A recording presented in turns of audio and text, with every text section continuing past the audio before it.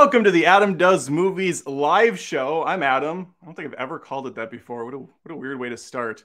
Anyway, it's going to be a fun one today. I got my buddy, my online friend who I've never actually talked to before, Sean Chandler.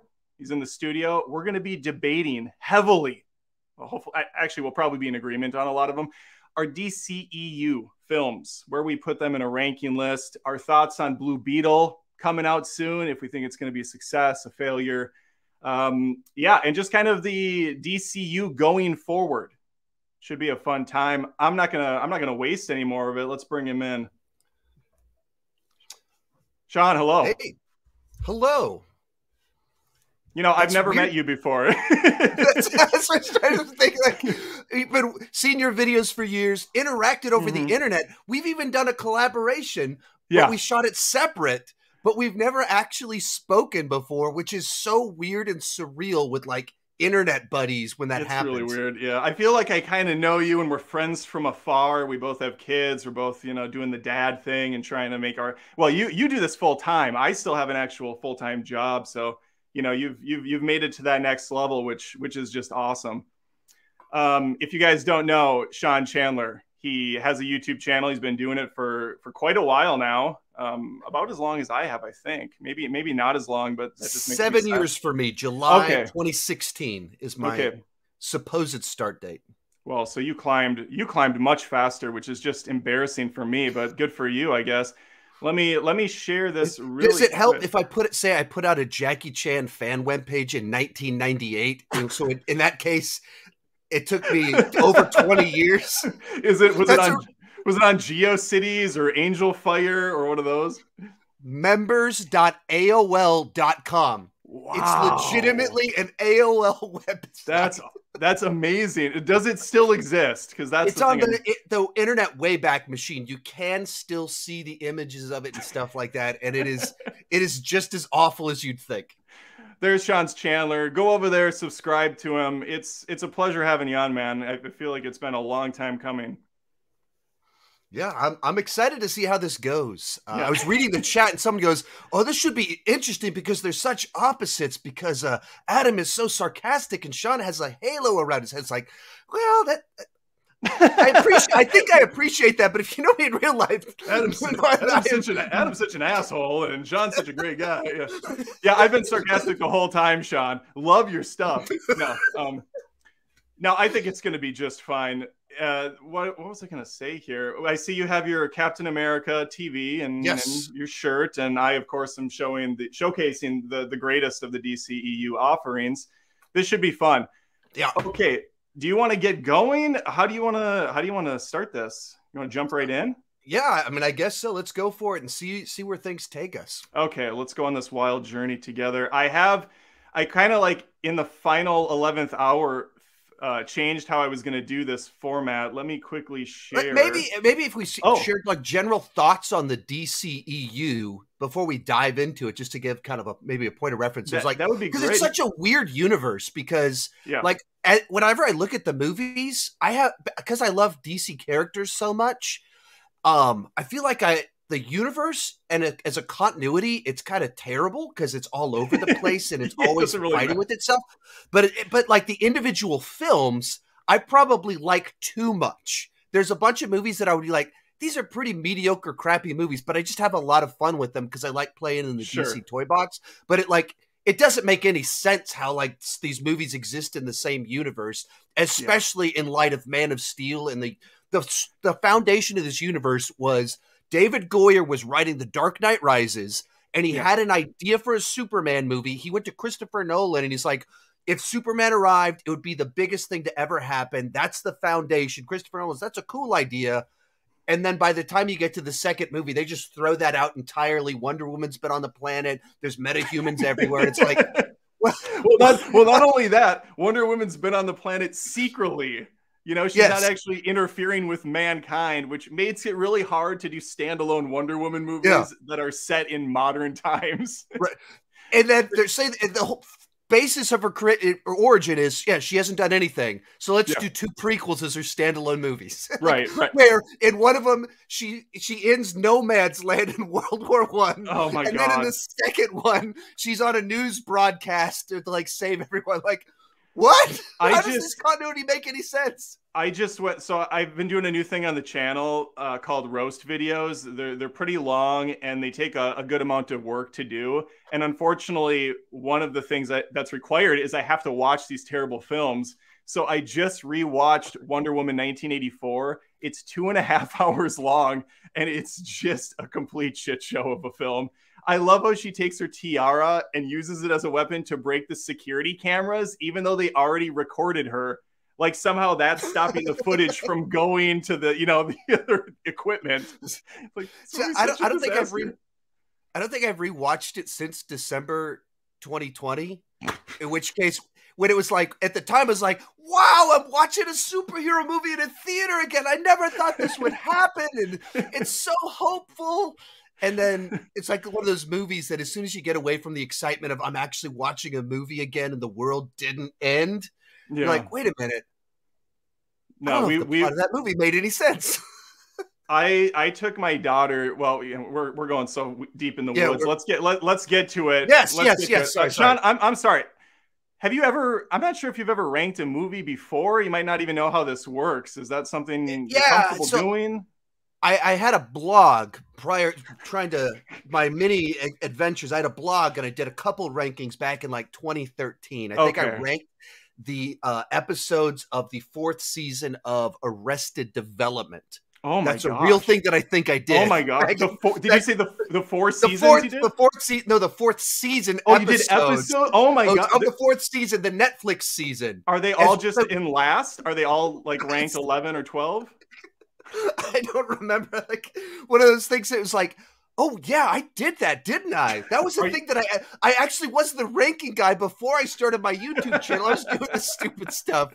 So as it turns out, You're just yelling into into the ether. No one's listening at that point, but you're doing it for you, you know? if if, if you ever uh, seen the the video, um, it's it's on the TV show Life is Short, where Liam Neeson it goes in to be inter- like interviewed by Ricky Gervais. And, oh yeah, yeah, yeah. That show was hilarious. And- The kind so of he- parody style Mhm. interviews. Yeah. Mhm. And so he goes in, and uh, Liam Neeson walks in, and he goes, "I made a list. Uh, you seen this list that I made? I love making lists. I think that's why Steven Spielberg cast me in Schindler's List." Ricky Gervais starts laughing, and he's like, "Why are you laughing?" He's like, "What? I thought that was a joke you were like, no, no. As an actor, you draw on things." And I drew on that. That's me. Apparently, I'm the Yeah. guy that just loves making lists. Just You're all le- the well, time you're making lists. you're not only a list guy, you're also comparing yourself to Liam Neeson, which is pretty pretty impressive to do. I, I applaud And I- that. named my child Liam. So Oh. I named my son Connor uh, off of John Connor, so we're kind of we're kind of in the same ballpark there. nice. Uh, the last right. name, unrelated, I wanted to do. Oh. I wanted to do middle middle name uh, Drake for Uncharted, uh, Drake's Mhm. Fortune, but my wife put the kibosh. Out of spite, she made me name him Blake. I don't think she gives a shit about the name Blake. she just didn't want me to have it. She didn't want to give me the W at the end of the day. That's messed up. I know it is. And Arrested Development first three seasons are fantastic. So Mhm. I'm, I'm glad you brought that up. Okay, let's let's get to this. Let's get the show on the road. That's why I thought it'd be a good idea to talk about the Netflix episodes. It was not. yeah, that sounded like Ron Howard doing the narration. It was not. Okay, how do I share this? Let's see. Share this. Bring it up. Do stuff. Get us in here somehow. Where are we at? Whoa. Where are we Oh. at? There we oh, are. Oh, there, we- there it is. We're in the That's good. matrix, and here it is. Okay, so this isn't a ranking. Calm down. Calm down. This isn't the ranking. This is just the order of release date uh, when these hit theaters. This isn't like chronologically based on the characters. Otherwise, I think what Wonder Woman would be number one, maybe. I assume that's as far back. It's hard to it's hard to understand. But Sean, we're going to Yes. start with Man of Steel. You you mentioned it, David S. Goyer, kind of a, Yes. a very hit and miss writer, and he did try his Mhm. hand at directing at least Yes. one movie I saw, and it was atrocious. I think it was called Invisible. Is that is that the Mhm. right name? Mhm. He was a he was a he was dead, and then he was like haunting his girlfriend. Really really awful film. Okay, let's talk Man Yeah. of Steel. And he did Blade Trinity. So that's Oh. unfortunate. He did. Oh, yeah, that's right. He did direct Blade Mhm. Trinity. Yeah. What a miserable film. Yeah. He had a really bad track record as a director. That's unfortunate. But you know what's not unfortunate? Man of Steel. I know I know it's hit and miss for people. A lot of people either seem to love this or hate it. I'm more on the love side. I Mhm. definitely can recognize the problems with it. I do I love listen, I love Kevin Costner. Every Mhm. man, blue collar, salt of the earth, Kevin Costner. But I did not like the character arc of him dying in the tornado. I, thought- I found that to be just so freaking dumb. Like, no, no, you're not going to save me from this. I'm going to die on this hill. It was so, and the message that he was trying to teach his son was terrible too. So it was just kind of a, a messy, uh, but whatever. O- outside of that, I, I do really like the visuals. People get mad because you know Superman smashing through buildings, presumably killing tens of thousands of people, fighting Zod. I'm okay with that. Yeah. he's, he's not he's not Superman yet. The movie's called Man of Steel. It's it's day one. He's still figuring one. it out. Yeah. Oops.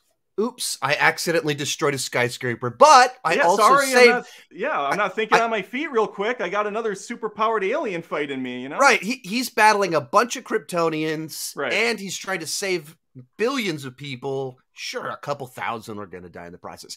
Yeah. So I, I'm a big fan of this movie. Um, uh, when I first watched it, I didn't know what to make of it. Like, went to go see it. Actually, I was a youth pastor at the time. We were on a trip, and I was like, um, new Superman movie's coming out. Senior sneak tonight. Literally took, the whole, all the seniors at midnight because I wanted to go see it. so we went to go see it uh, midnight. And that's was, not a short movie either. You It- guys it didn't get not, back and- to like three thirty. Mhm, and this Yeah. like we were in at camp. So Yeah. camp is not next to the movie. Well, that, that's what I'm saying. You probably had a Yeah. good half hour drive or so. Oh yeah, oh yeah. Oh, this is God. like camp in the middle of nowhere, Texas. Driving into New Braunfels, Texas. Watch the movie, long movie, and then driving back. Um, so I, I was very, very responsible. Uh, but you know, I grew up on Christopher Reeve Superman movies. I just adored Yeah. those movies growing up. Those are that's those are the ones that we, we had growing up. That and Batman '89. And so this is so different. And it took me a couple viewings to like evaluate the movie on its own terms and not just Mhm, be like, mhm. that's different. And then once I kind of bought into it and the vibe that they were going for and that they were intentionally trying to do something different, uh, I just really dug it. The score, fantastic. Yeah. Wildly different from the John Williams score, equally iconic in its own way. Um, and, you know, Zack Snyder's one of those directors that um, swings for the fences. He's always trying to do something, and sometimes it's awful, sometimes it's awesome, but he actually has a distinct voice. And in particular, more and more that we get just these generic as can be superhero movies, when you watch one that has a distinct style, you're like, I, I like this. I dig this. I appreciate this. Yeah, it. uh I was worried going in because it kind of had, you know, the Dark Knight leading up to this that they Yeah. were just going to Dark Knight Superman, make it Mhm. really, really, you know, down to earth and grounded and serious. And um, thankfully, that's not what they did. It's definitely a lot more somber, a lot less Mhm. hopeful than a lot of people probably wanted. What do you mean? Is the symbol on his chest means hope? It's a hope. it's right there. It's, it's, it's right in the there. trailer. They marketed it that That's way. That's right. That's right yeah, I don't I, I, don't really have any issues with this outside of um, the Costner stuff. And I do think Amy Adams is maybe not the best Lois Lane, but it's not because of Amy. It's because I just don't think they writ her uh writ her. Ritter's the word now. They they didn't write her really in line with how I picture Lois Lane acting. Yeah. Well, it's, it's also a little bit tricky because it's such a it's a story told in such a specific moment in time for them. Mm-hmm that puts them outside of the, their normal even interaction. So he's Clark Kent, but he's not really doing a lot of normal Clark Kent things, and yeah. so even her interactions with him are kind of, you know, she meets him in a spaceship. That's kind of weird. That's different. It's a little weird, yeah, yeah. yeah so cinematography though is just top of the line. Uh, I, I love the just the personal shots of him touching down, the, the debris going up into the air. Mm-hmm. The, those flying sequences are beautiful. I, I love the IHOP I mean, I can't get mm-hmm. enough of the IHOP setting. Very, very nicely done. but just even coming off like off Superman Returns, that was like, look, he's saving cats. Look, he's stopping yeah. bank robbers, but he he doesn't punch anyone in the face. And they gave us a movie that he, mm-hmm. he punches people in the face, and they had this like frantic energy to it yeah. that I, I just there's a lot of details in it. Even even like the way that they did uh, the Christopher Meloni character. My mom for 10 years straight only watched Law and Order SVU. That was the only TV show she watched. So I've seen a lot of Law and Order SVU. Wow. That, and so then he appears in in a Superman movie and he's written to be very unlikable. Like he's just the, uh, the abrasive military guy. Yeah. But they even find ways to use that in a sense of like he's also committed to that. He like he won't let like these Kryptonians that will obviously kill him. He'll still grab a knife and be like, "Yeah, but I'm gonna hold a knife in front of you." And Snyder, yeah, Snyder did a good job with this one, and he didn't go full Snyder, which was nice. Like the guy didn't turn at the camera and wink at any point, and his eyes turned green, and and everybody's like, "What? What? What was that? What did you just do there?" And then Snyder just tips the hat and walks away. Uh, it kept it at least plausible for this one. It, it's yeah. later when things go a tad off the rails for me personally, but um, yeah, I think uh, I think I like this quite a bit. I ranked it where did I rank it? Number two. This is the second. This is my second favorite DCEU film. I have it at number two. Are you wow. serious? Wow. Wow. This is incredible. That's game. I, I, don't think we need to go any further. Yeah. Our lists are identical at this yes. point. we're batting 100%. Let's quit while we're ahead. exactly. Okay, let's go back. Let's go back to the list. One. Oh my God, Sean. I got these tabs all open. I don't know if I need yours up. I'm going to get rid of yours. I got these tabs open to share, and I almost just shared your full ranking list like a Whoa. complete idiot. That would have been Whoa. absolutely Whoa. devastating. It would have shut this whole thing down. Toot sweet. Remember yeah, that term? Everyone. Sweet? Here we go.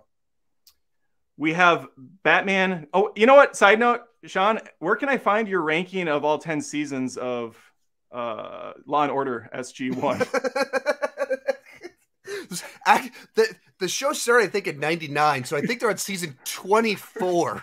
Is it S? Wait, did I say that right? SG one or is it SG one? That's Stargate. That's Stargate. This, this is SVU. Oh, SVU. I combined the two. When, when am I gonna get the Law and Order that, Stargate crossover film?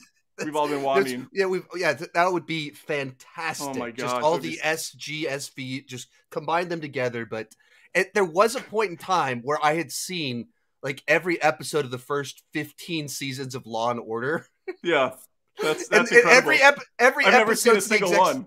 It, they're all the same. Yeah, it's the for, same yeah. exact formula. It's Someone's like House. been raped or murdered. It's just it's like House. It's it's always like lupus or something. Every time I'm just yelling like whatever House says it is, it is. Stop beating around the bush for yeah. 45 minutes. Okay, I now I can't get Stargate uh, Law and Order out of my head. I think that would be incredible.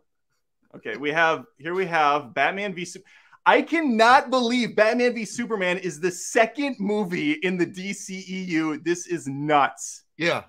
What and every time you, you, you, rethink through like the universe and you go, wait a minute, they really did that. They really That's just insane. went straight to it. Um and and the movie feels like that. If you it like the ideas for movies in here, there's this very obvious like the follow up to Man of Steel. How yeah. is the world reacting to the events of Man of Steel? and they do these montages of the news and these continue, you know, deconstruction of superheroes and the people that hail him as a god and those that criticize Jesus him for not symbolism, being, like so over, like, and then you have that, and then you have Batman versus Superman, yeah, which is its own could that's, be its own thing, Yeah, of course. and then it's also like Dawn of Justice, like Mhm. to throw that in there, and so we're in the movie. They're preparing for this big battle yeah, and then Batman checks his email or something. And like we're literally like the, the, the exactly music's cres- crescendoing, and he checks his email and he starts watching YouTube videos of the Flash.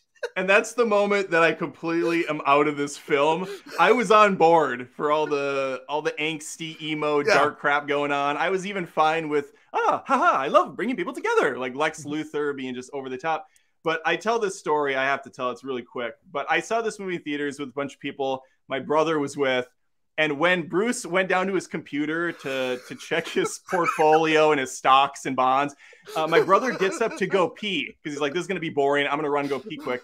And instantly it does the jump cut to the post apocalyptic doomsday scenario, evil Superman. So my brother comes back. Guys can go pee very fast and wash their hands. He comes back in like a minute. And it's just absolute chaos on the screen. There's there's bug demon creatures. Batman's got a fucking gun. Like he's in a duster. And Jake, my brother Jake turns to me. He's like, "What did I miss?" And I'm like, "I don't know. I don't know. It, it was it was insane, and they don't explain it. Right. and it's never going to get explained It's now. never explained.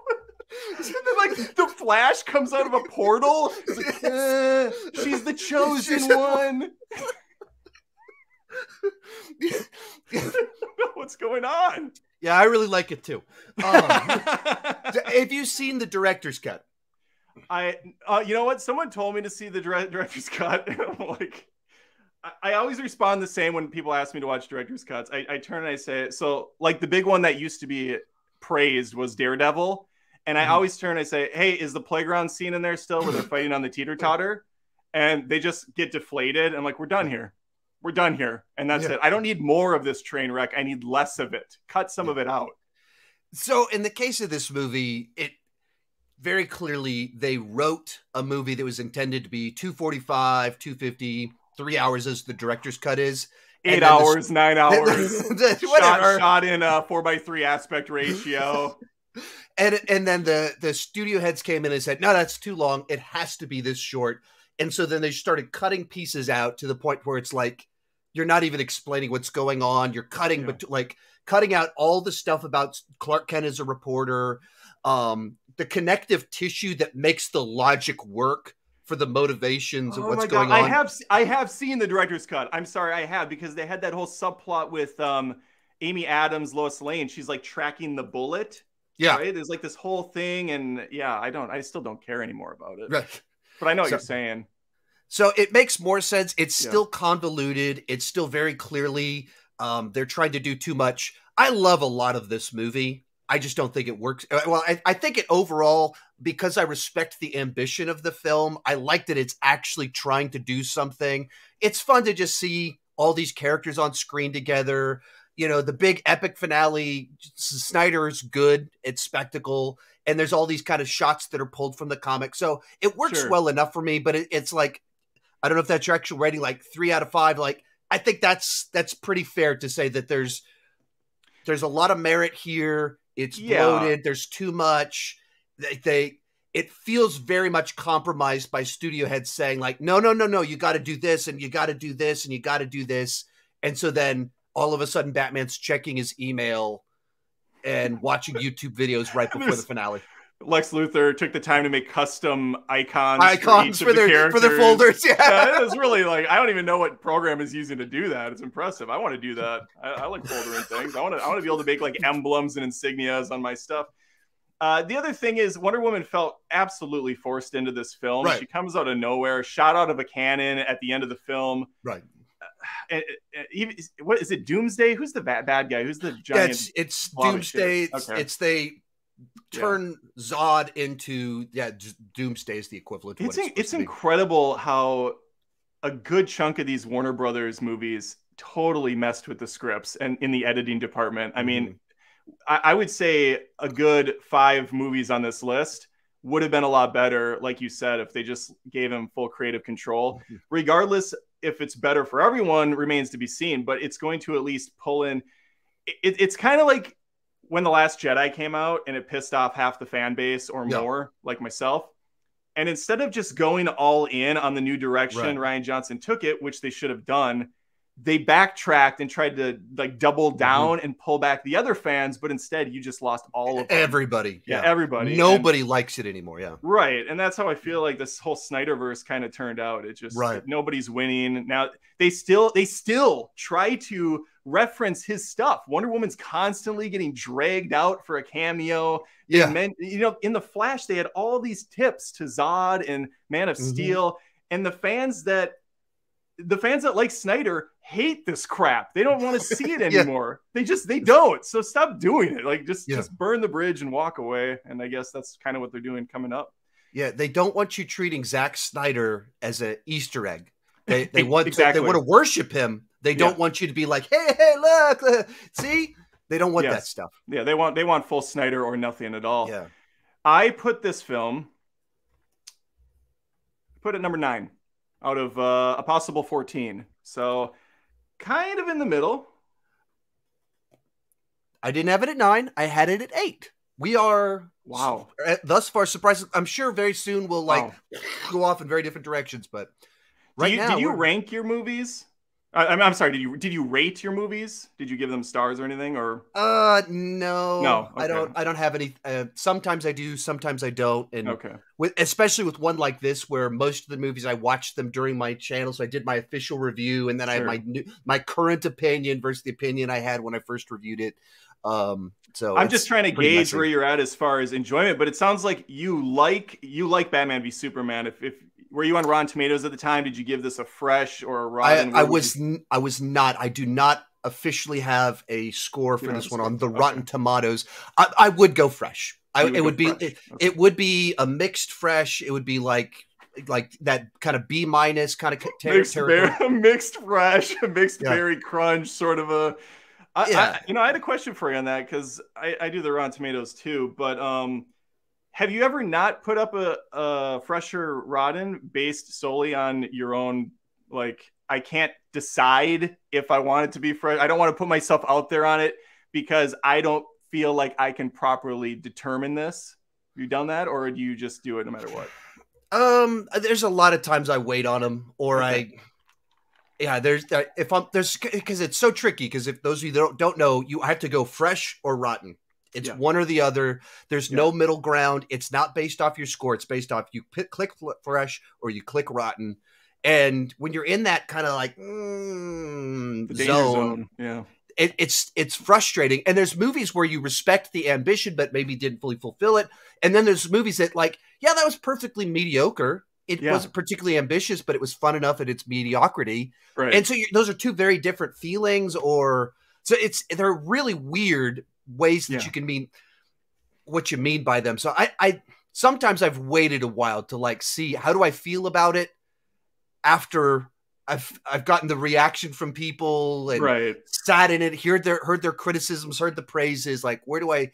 Well, then you got the then you got the micro game too, because if you wait long enough, then you see what that score is populating at, and sometimes Mm-hmm. something that's mediocre is pushing ninety percent fresh, Mhm. and then you're thinking, well, uh, it's not ninety percent, like it's not that great. Like the majority shouldn't think this movie because when you Mhm. present that to someone and, and they see ninety percent fresh, they instantly Mhm. think that means this is a really really good movie, Mhm. but it could mean a lot of people thought it was just a little bit better than average, and that puts Mhm. it up there. So yeah, it's, I was just curious. So yeah, we're, we're It's it's a on that. tricky game, and then It even like then you like, do I want to use my influence to try and get that right?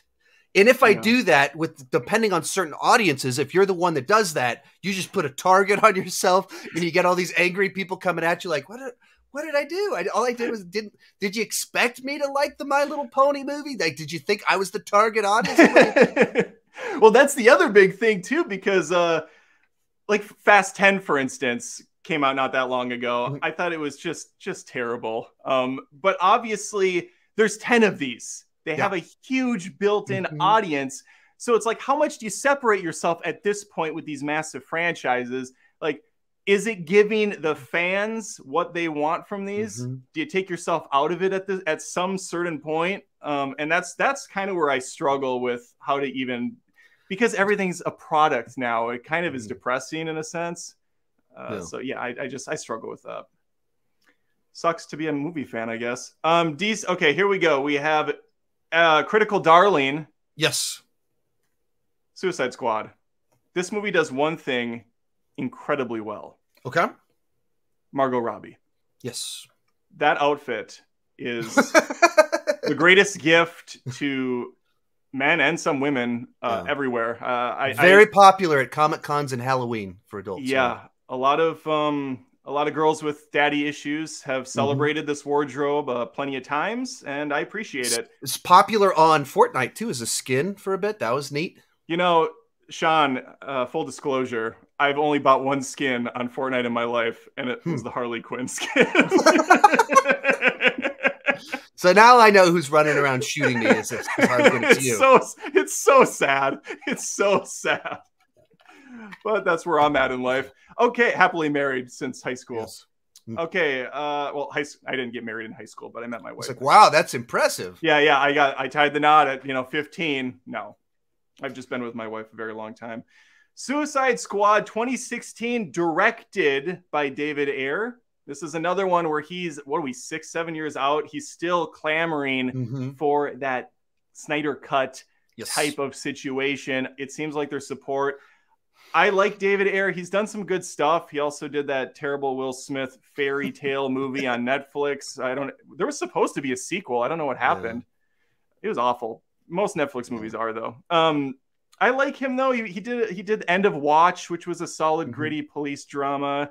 He's done some other good stuff, but you could tell this is not his movie. it's such a shit show. Right. And espe- like right out of the gate, there was Yeah. so many reports of he had six weeks to write the script that before the movie came out, they're like, they had the trailer company come in to re-edit the movie. Yeah. like, the what? What?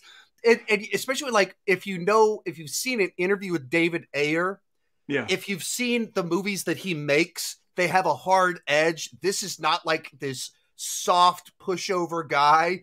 Look, I mean, just look at the movie. This his Suicide Squad. It's bleak. It's dark. This is not this softy that's like casually like, oh sure, guys. Um, if you think the guys that cut the trailer can make a better movie, let me just step right. It's And- it's e- exhausting. That movie is exhausting. I watched it yesterday for my roast. I had to watch Wonder Woman 84, Suicide Squad, and just Justice League. I watched two of them one Nice. day. I, I mean, Suicide Squad. I, I, the title is perfect for how I felt when I was watching that film because it was so. It's so bad. It is so bad. I think there are 12 songs in the first 10 Yeah. minutes of the movie. Wait, and you can feel that they they re-edited the film. Yeah. That this was not the intro that he had. This was not the way these characters were supposed to be introduced. It's literally like here's a character, song introduces them. Yes. Here's a character, a different song. That and the the song is their character development. And like, the song what is so is this? it's so random too. It's like whatever they had in the the studio library that they could pull from. Oh, we got Bohemian Rhapsody, pull it in. We got uh uh y- w- w- there's like some song by uh Creedence Clearwater Revival. War has a song on there. It's just it's a disaster. And then Eminem, the most egregious one of all. Eminem comes on and the editor just straight cuts halfway through a verse of a song. It doesn't even bother blending it. It just cuts and then goes to the next part because they had to get to that, you know, crescendo of the song. Sad, sad stuff. Amanda yeah, he- Waller, Amanda Waller, uh, I think three minutes into the movie starts narrating out of nowhere. Like this is her film. She's Yeah. the protagonist. They did the same thing at the end of Justice League with um, Lois Lane. She starts Yeah. narrating the ending. Well, Yeah. These were their these are their stories. What are we Right. doing? Right, and it's and it's in both cases it's the same thing. Studio mandates cuts, re-edit the movie, so to fill in the gaps, you have to have someone tell you what's happening and explain everything to you rather than actually tell a story. And just utter disasters like screenwriting, storytelling, filmmaking 101 stuff here. It's, and they get it so wrong. And so it's it's fo- following David Ayer. It's it's fun because every month there's some new thing where he's like, actually, in my movie, this, actually, I'm hoping someday we can do this. Actually, and every single month he, he does it, and y- you feel bad for the guy. It's and at the sad. time, It's it's sad. Yeah. and I, you don't you imagine you you dedicated two three years of your life to make something and then the thing that they- they put out there is the equivalent of someone taking your movie and drawing like a smiley face on it and then putting a crappy music he, like he literally said like my mu- movie did not have any songs in it. It was all I believe- score. I believe I had a that. score. I had I a score. that. and then they the, the movie is so defined by that vibe of music of pop Yeah. songs and rock songs and you go what yikes Because- that, that's painful Do you remember the logic behind this change? Was it because Deadpool came out not that long Yeah, before this so- and they wanted to colorize it? And I think they even added a CG unicorn in at one point with Boomerang's jacket because that was a callback to Deadpool's movie. yeah so that's what basically that's basically what david ayers said is that it was a it was like three things all in a short window of time deadpool came out and it it just made bazillions of dollars Yeah. just so much money that warner brothers went oh people want lighthearted People like Batman this v- now. Batman v Superman came out and it got was too dark. And then Yeah. the third one was in one of the in the trailers for the movies, they put like ballroom blitz or something like that. So Mhm. pretty typical stuff for trailers to use songs in them. Yeah. But people liked that vibe. And so they went, let's make the movie more like that. Let's make it funnier like Deadpool. Let's make it not as dark as Batman v Superman. And so then they they like reshot the ending, they re-edited the entire film, and it's like it's barely coherent. yeah. It it, it doesn't like you're tracking along with what's happening is kind of difficult. It's It- really hard. I I watched, like I said, I watched it. I took copious notes, and I was pausing every freaking minute because they were just throwing line after line at you super quick, and these were important things. Mhm. I still don't know how Harley got the uh, chip in her head removed or deactivated. They don't tell you in the film, and that's like a big. That's kind of a big plot point to not have your head blown off. Yeah. Oh, And- and and they um like you're you're watching it and they they don't tell you exactly what happened in the city and then they Yeah. kind of tell you at a flashback later in the film and Mhm. it, it's still really unclear exactly how everything unfolded and the bad bad guys are putties but they're actually the people from the city and it's just so I do. I couldn't even gauge what the actual goal was for Enchantress. She she says that humans don't worship them; they worship machines. So she says, "I'm going to build them a machine." She does, which is essentially just a laser beam. I didn't even see a machine at all. yeah I don't know how she even built it. Is she a mechanic? What what is she doing to to make this shit?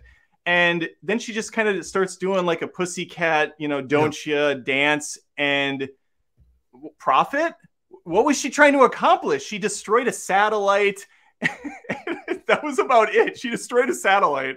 that was the goal. and, and her brother's in it too Yeah, yeah, oh yeah. but Big it's guy, like yeah. oh, it's like oh yeah her brother's in this it's just just like a total mess of a film so Yes. I don't think David Ayer's version of the film will be good. I just think No. it'll be better and more coherent. I agree um, with you on that. Yeah. And so I'm I love to see things like that. I'd love to see it someday, but um Do you think we will? I, I think the thing that made it the that made it most likely we won't see it is the release of the Snyder cut and the response of the Snyder Bros. Yeah. I think that uh, if the response to that had been the the viewership that it got, plus people being like, "Hey, thanks, that was cool. That was cool." Like, like, you put like a a- normal, like a normal, sane response. Well, like the thing that like like that's my response to it. And then my buddy buddy Rudy in San Antonio, um, I, I you know I got it early from press, so I invited him to come over, and so we got to see it a couple days early.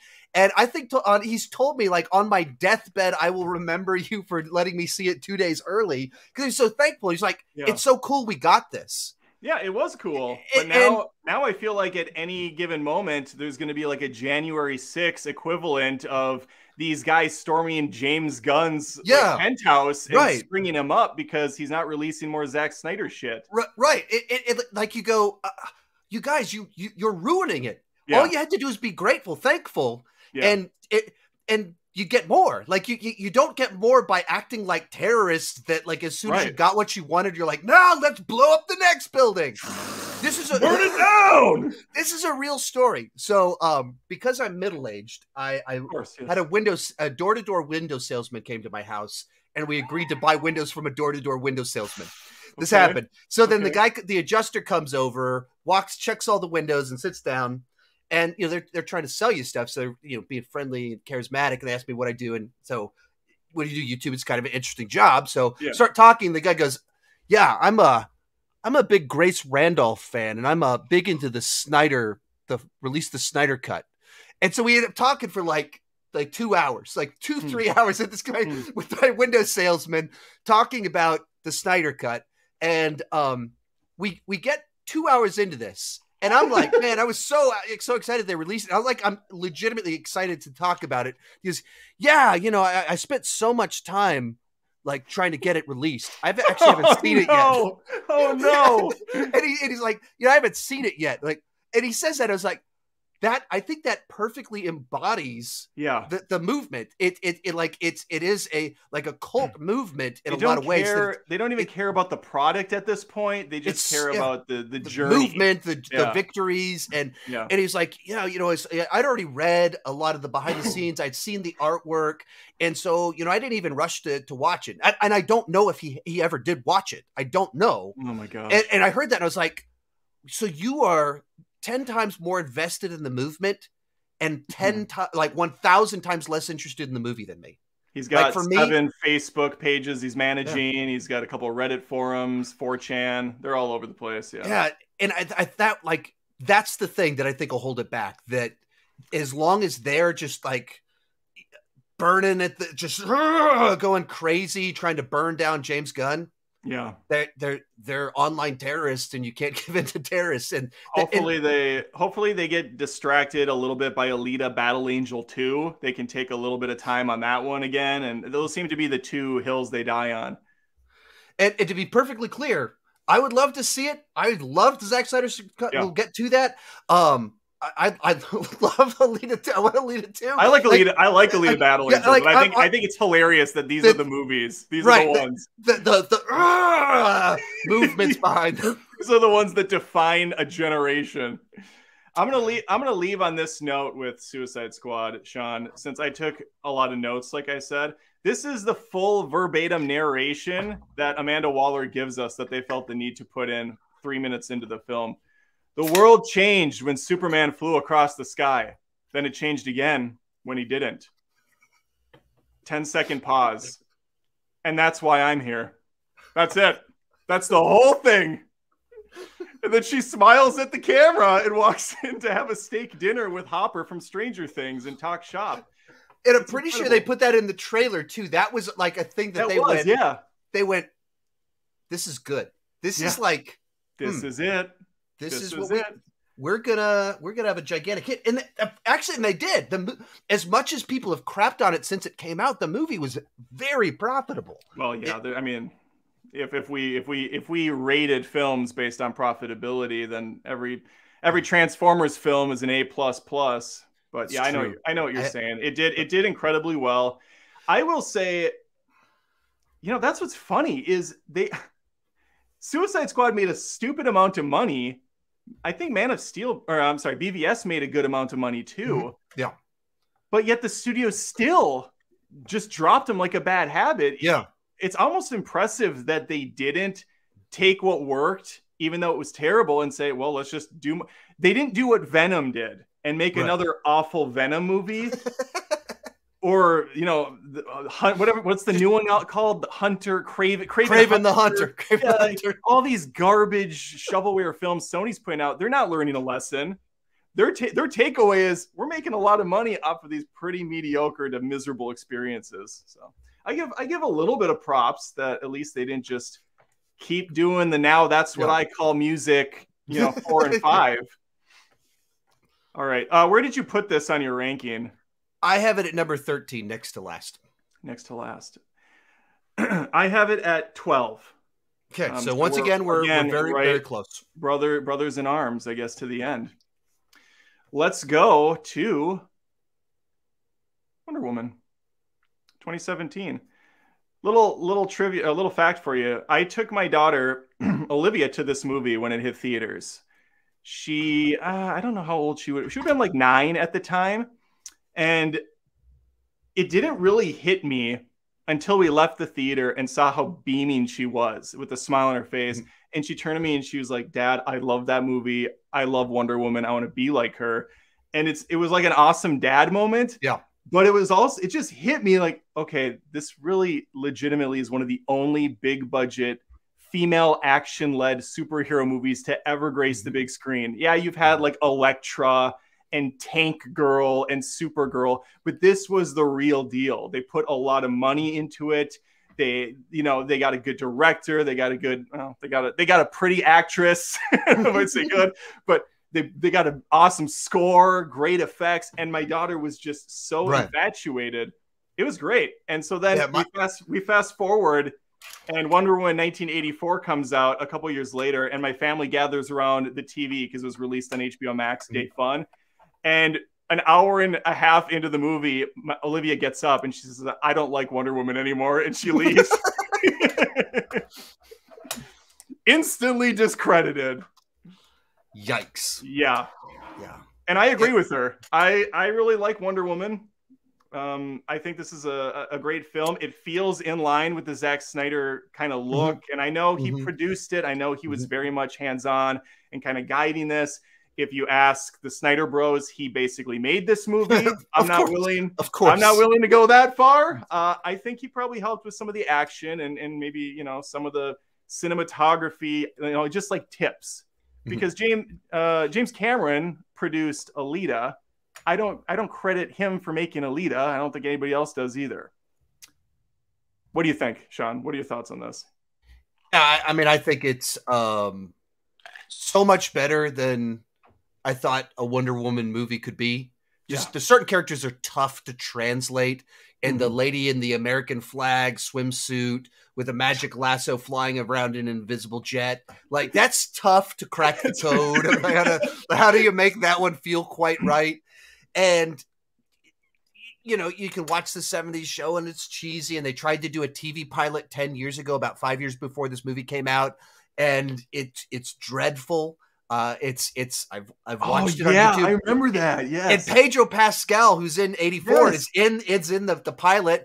And Joss Whedon, um, you know, before being the nerd enemy number one, when he was you know the hero of nerds, uh, you know, he took a crack at Wonder Woman. He couldn't crack the code, so I I didn't have high hopes for this one for a long time.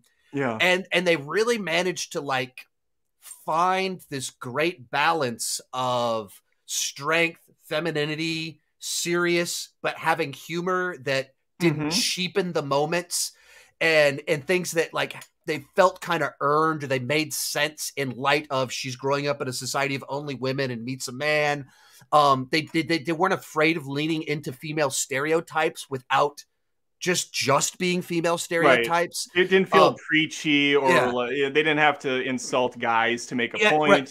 Yeah. And, and, they could do things like she sees a baby and she starts just getting excited, like, oh, the baby. Right. It does this thing that is like a very common thing for women to do. Yes. That feels so natural for her, but in no way diminishes her.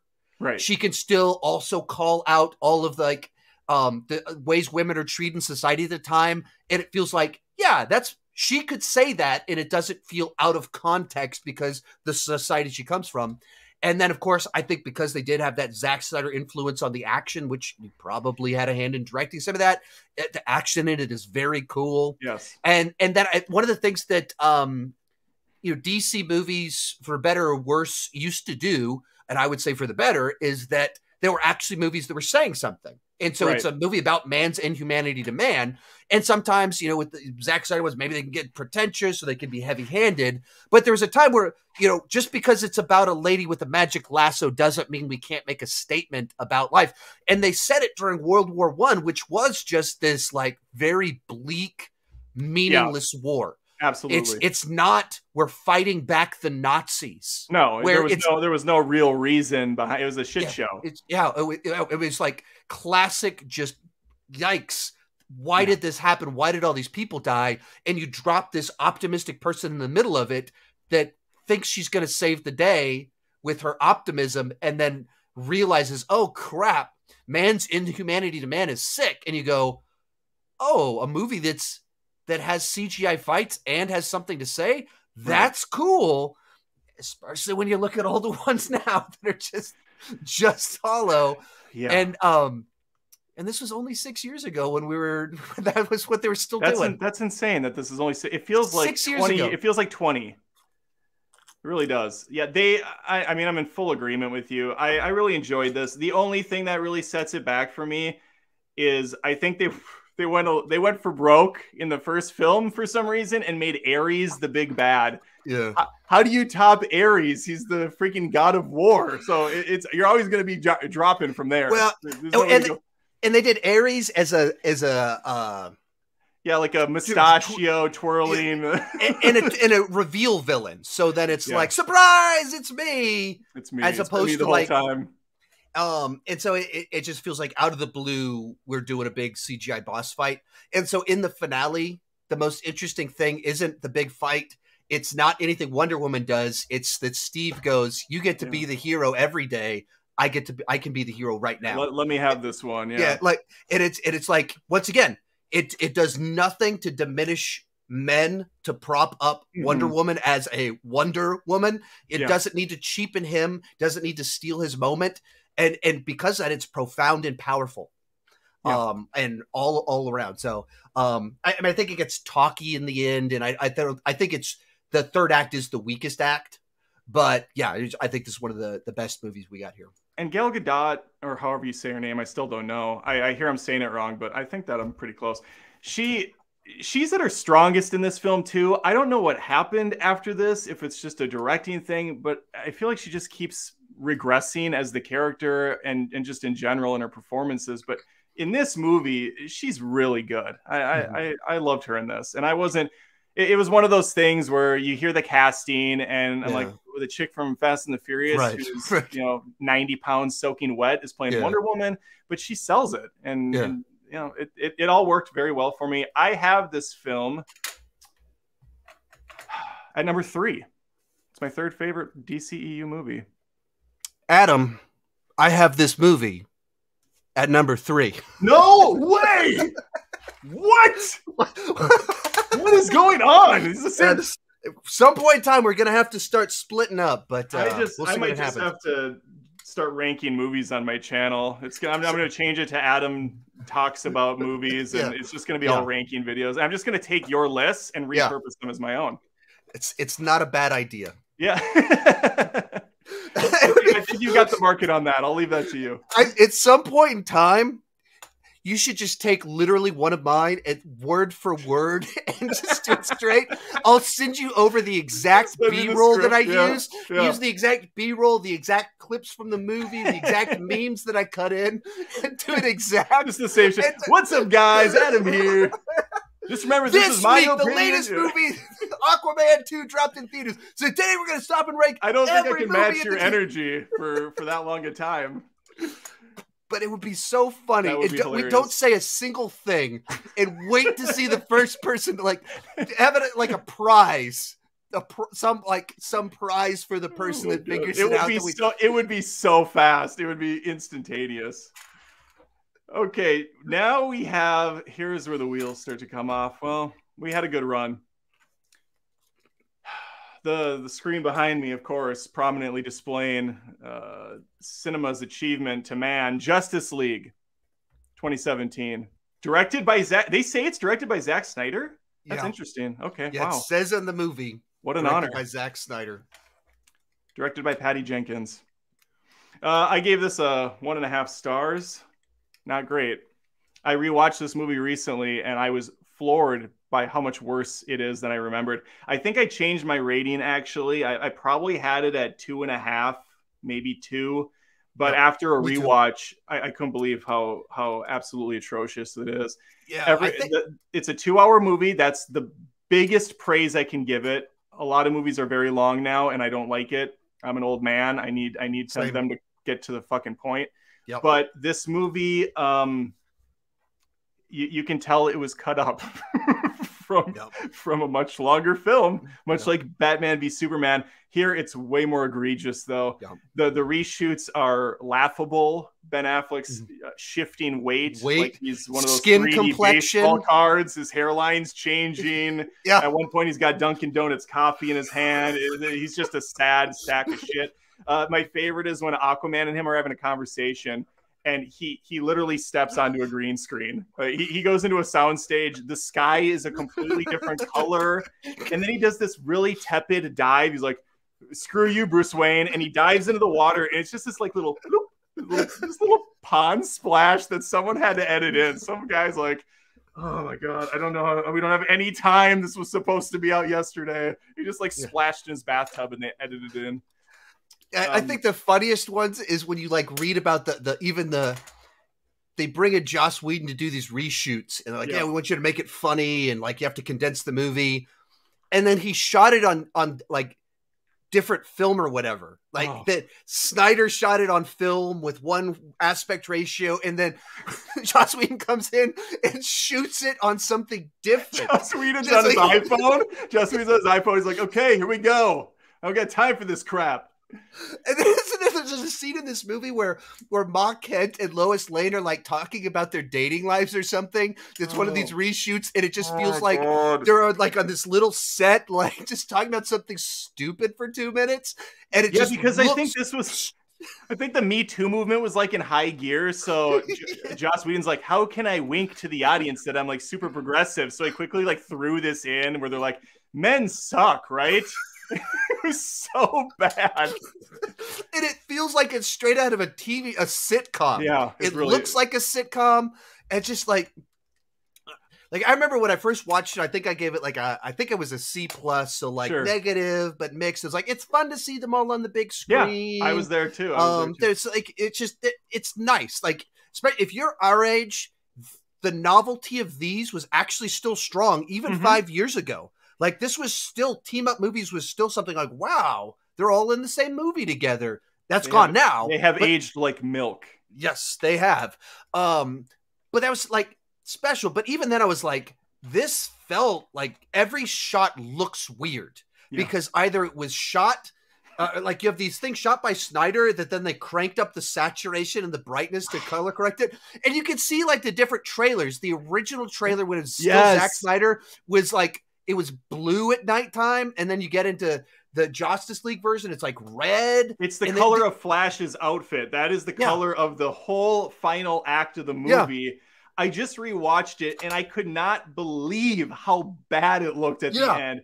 I, I don't know if it's the transition to Max and they changed the colors again, but it looks way worse than I remember from watching this in 2017. I could not believe it.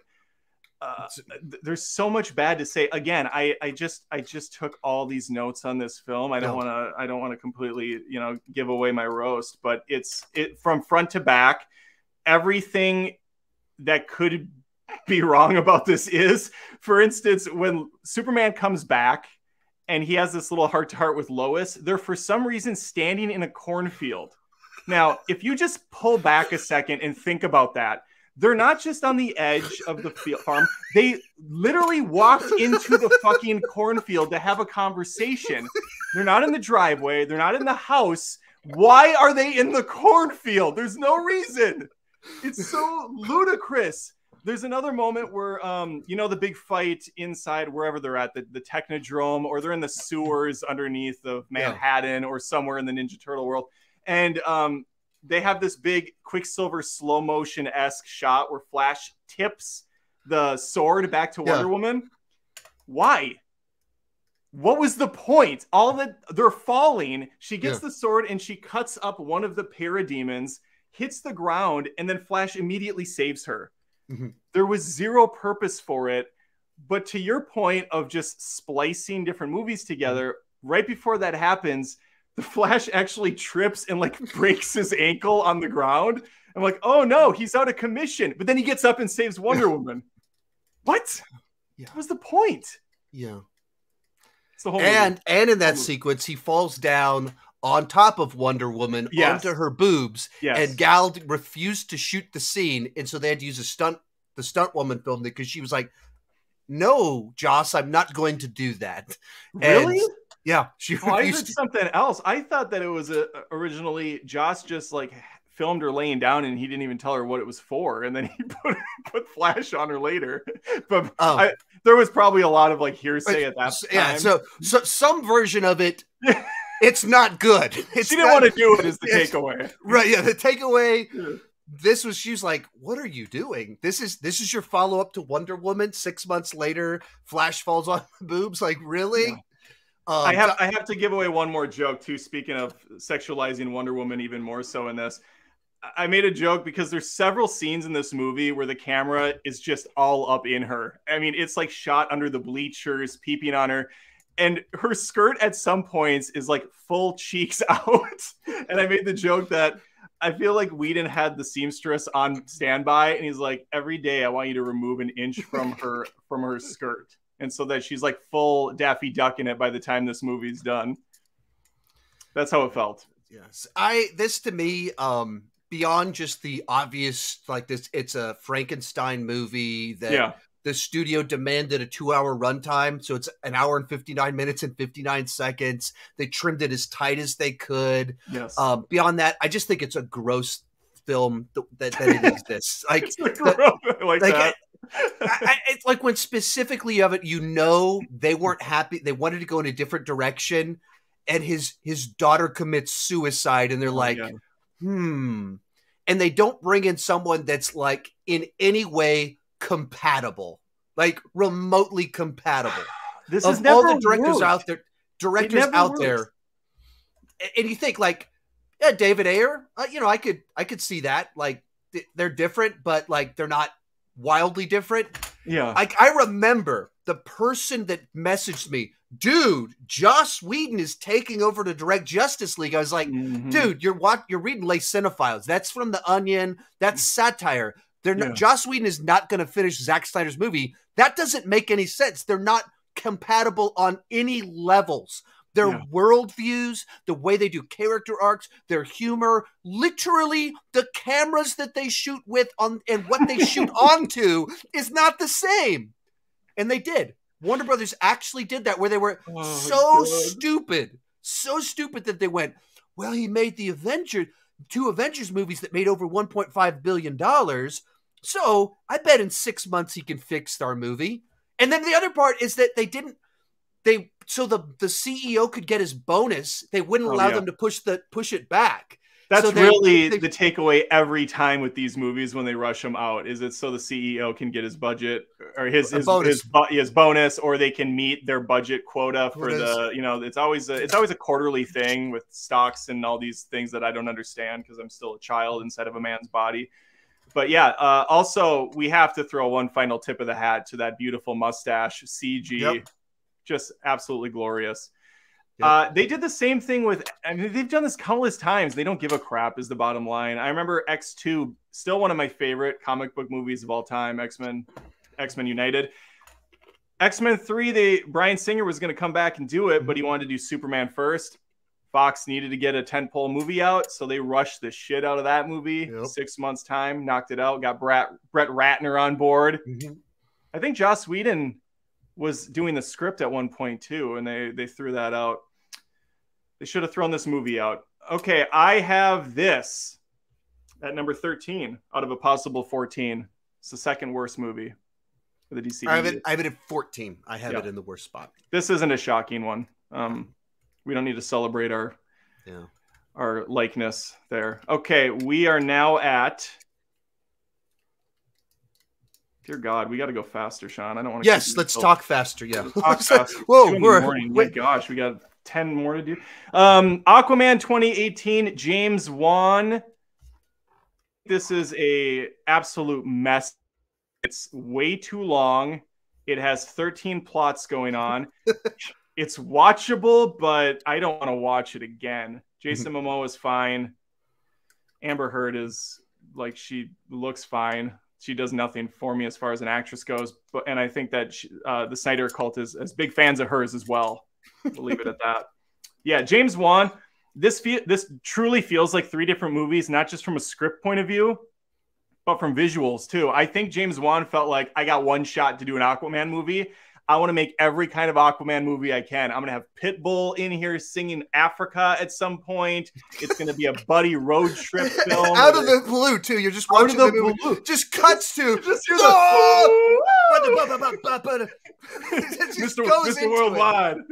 Whatever it is. Yeah, they're they're like Indiana Jones in it across yeah. the desert, and then there's a, some really beautiful cinematography where they go into the trench and you you know you get those cool wide shots of the creatures but then there's ugly cg green screen and, and then at some points it's like the little mermaid. No this this movie is such a disaster from from top to bottom.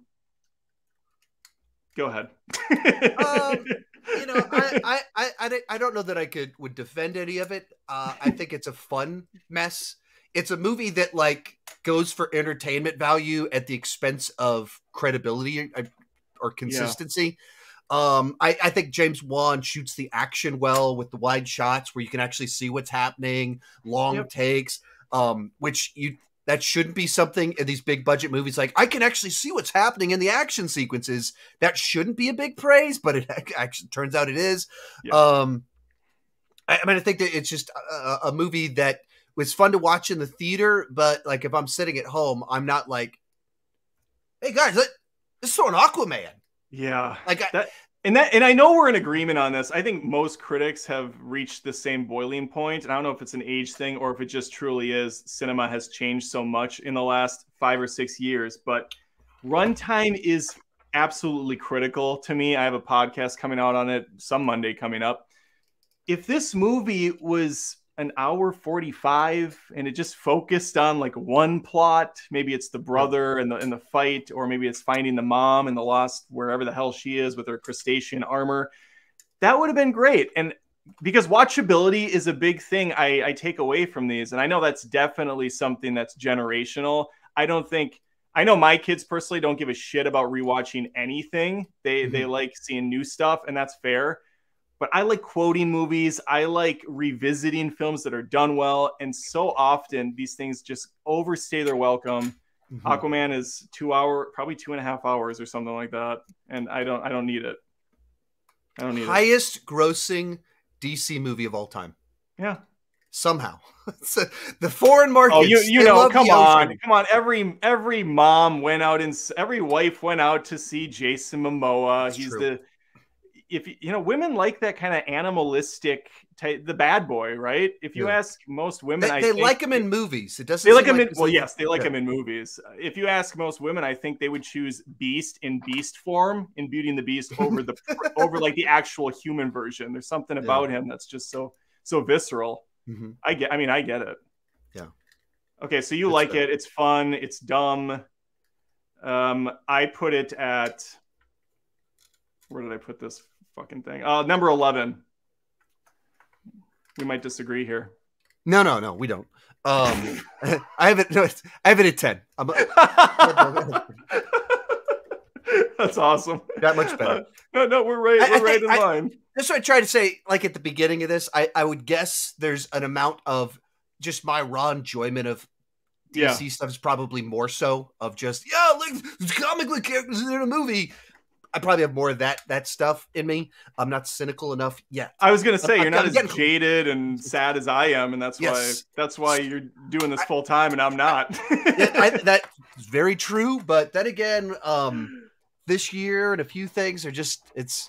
I think I might be getting there with being like, yeah, I saw I saw a couple on. times on on X as we all call it now, and not yes. Twitter anymore. It's X for sure. Um, that you were kind of getting dogpiled a few times on some of your Marvel hot takes, which were not hot takes at all, just normal takes. Like, but you totally culti- but you takes. did this to yourself, Sean. You mm-hmm. cultivated mm-hmm. an audience of fanboys who mm-hmm, like those mm-hmm. Marvel movies, and they don't know anything else. It's, it's like it's just as good as it ever was. You guys yeah. are just getting cynical. No, no, yeah, no, that's not. Well, that. I mean, yeah, we are getting cynical because you can only watch the same movie so many times mm-hmm. before it gets boring. Mm-hmm. So Iron Iron Man is great.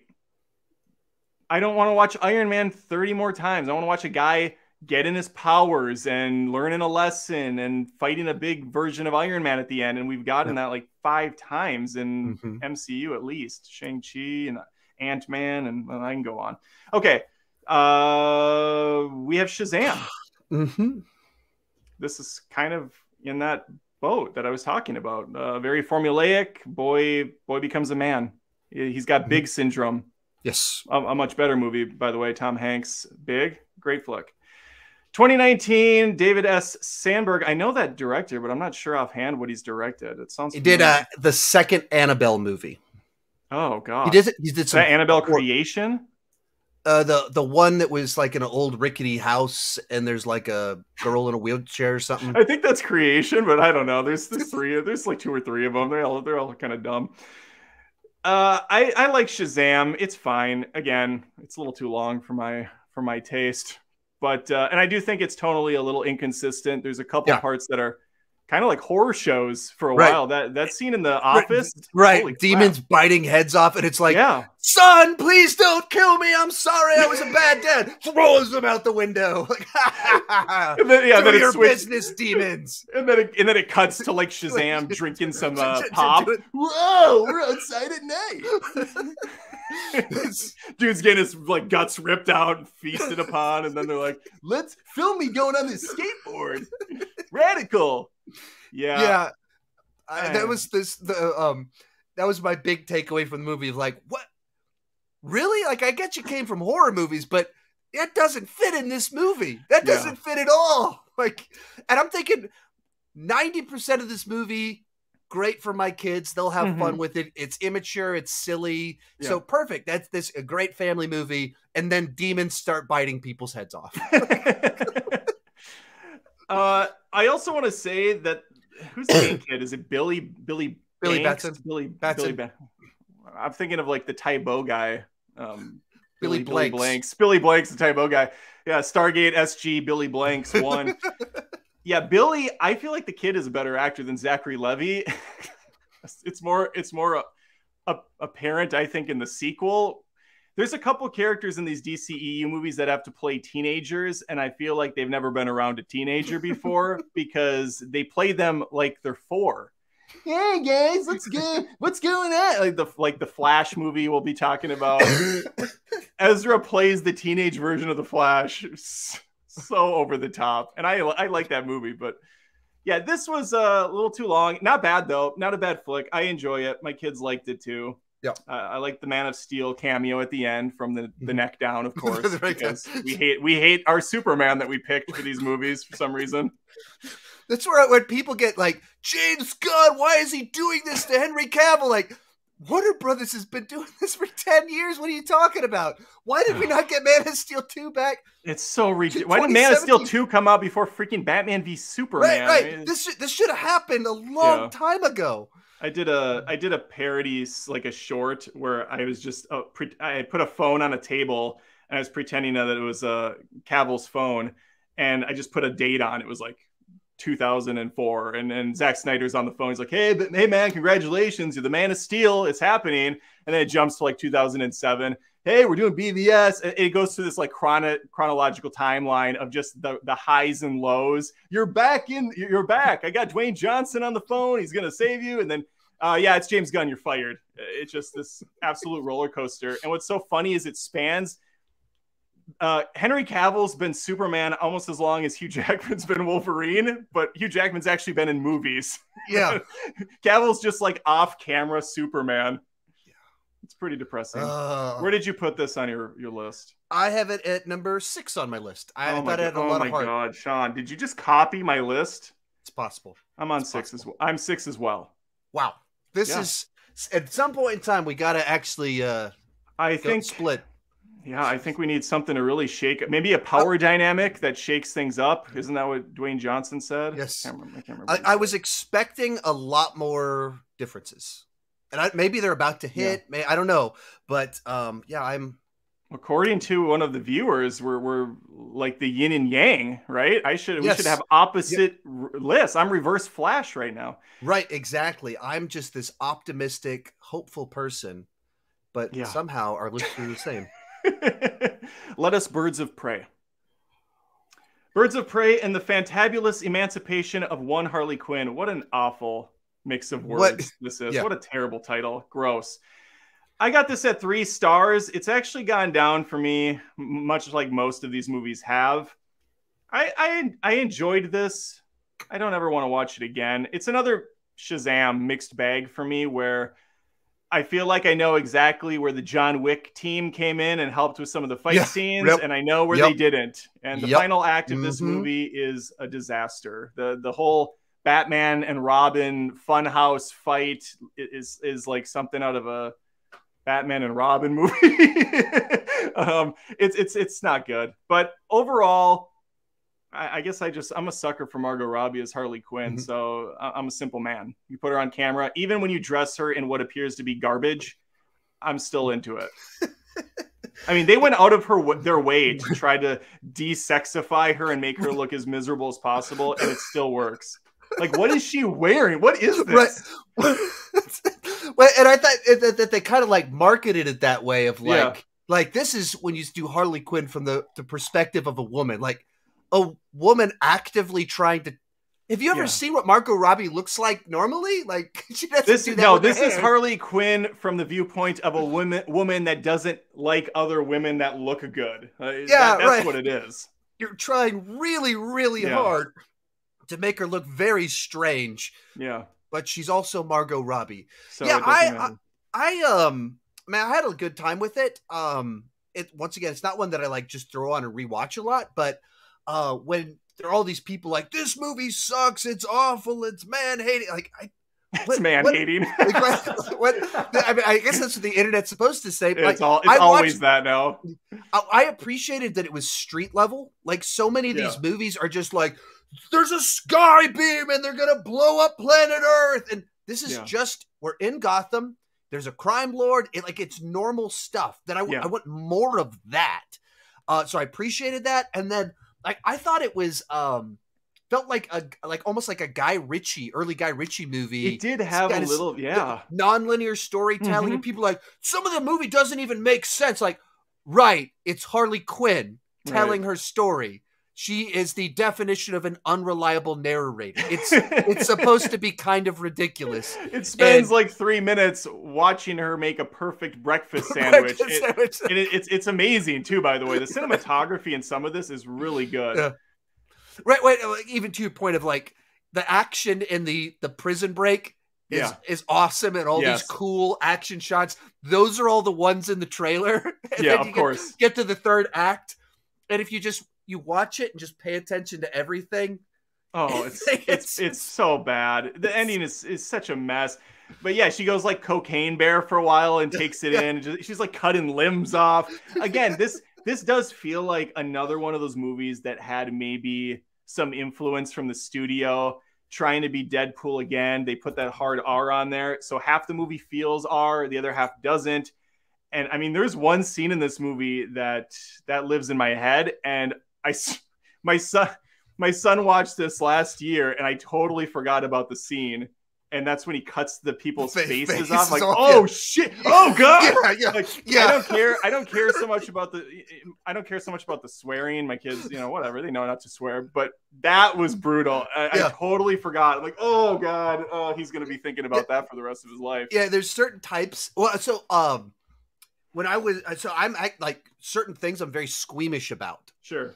And so when i was in elementary school i passed out multiple times from we dissected an eyeball a cow's eye in the fourth What? grade School and did we you go to? texas so Texas this Ma- Texas Chainsaw Massacre School. legitimately the, the the road in front of my neighborhood where I currently live is the Yeah. road that they're drive down in tech the original Texas oh, Chainsaw oh, wow. Massacre. Okay, yeah, And that then makes the-. That that's the remake brand. of Texas Chainsaw Massacre. There's a bunch of shooting locations that are at the next city over, like five miles down the road. It's where they shot it in the main house. It's 20 minutes, and then what a location for Friday the 13th, the reboot, is just five minutes the other way down that road. So all these slasher films were shot right around here. You're like in the background of half the movies, just Yeah. living your life. Is that Sean Chandler when he was like eight? There I am. Is he But, uh, dissecting a cow's eye? so we're dissecting a cow's eye, and I'm like, oh, a cow's eye, that's gonna be cool. Yeah. Nope.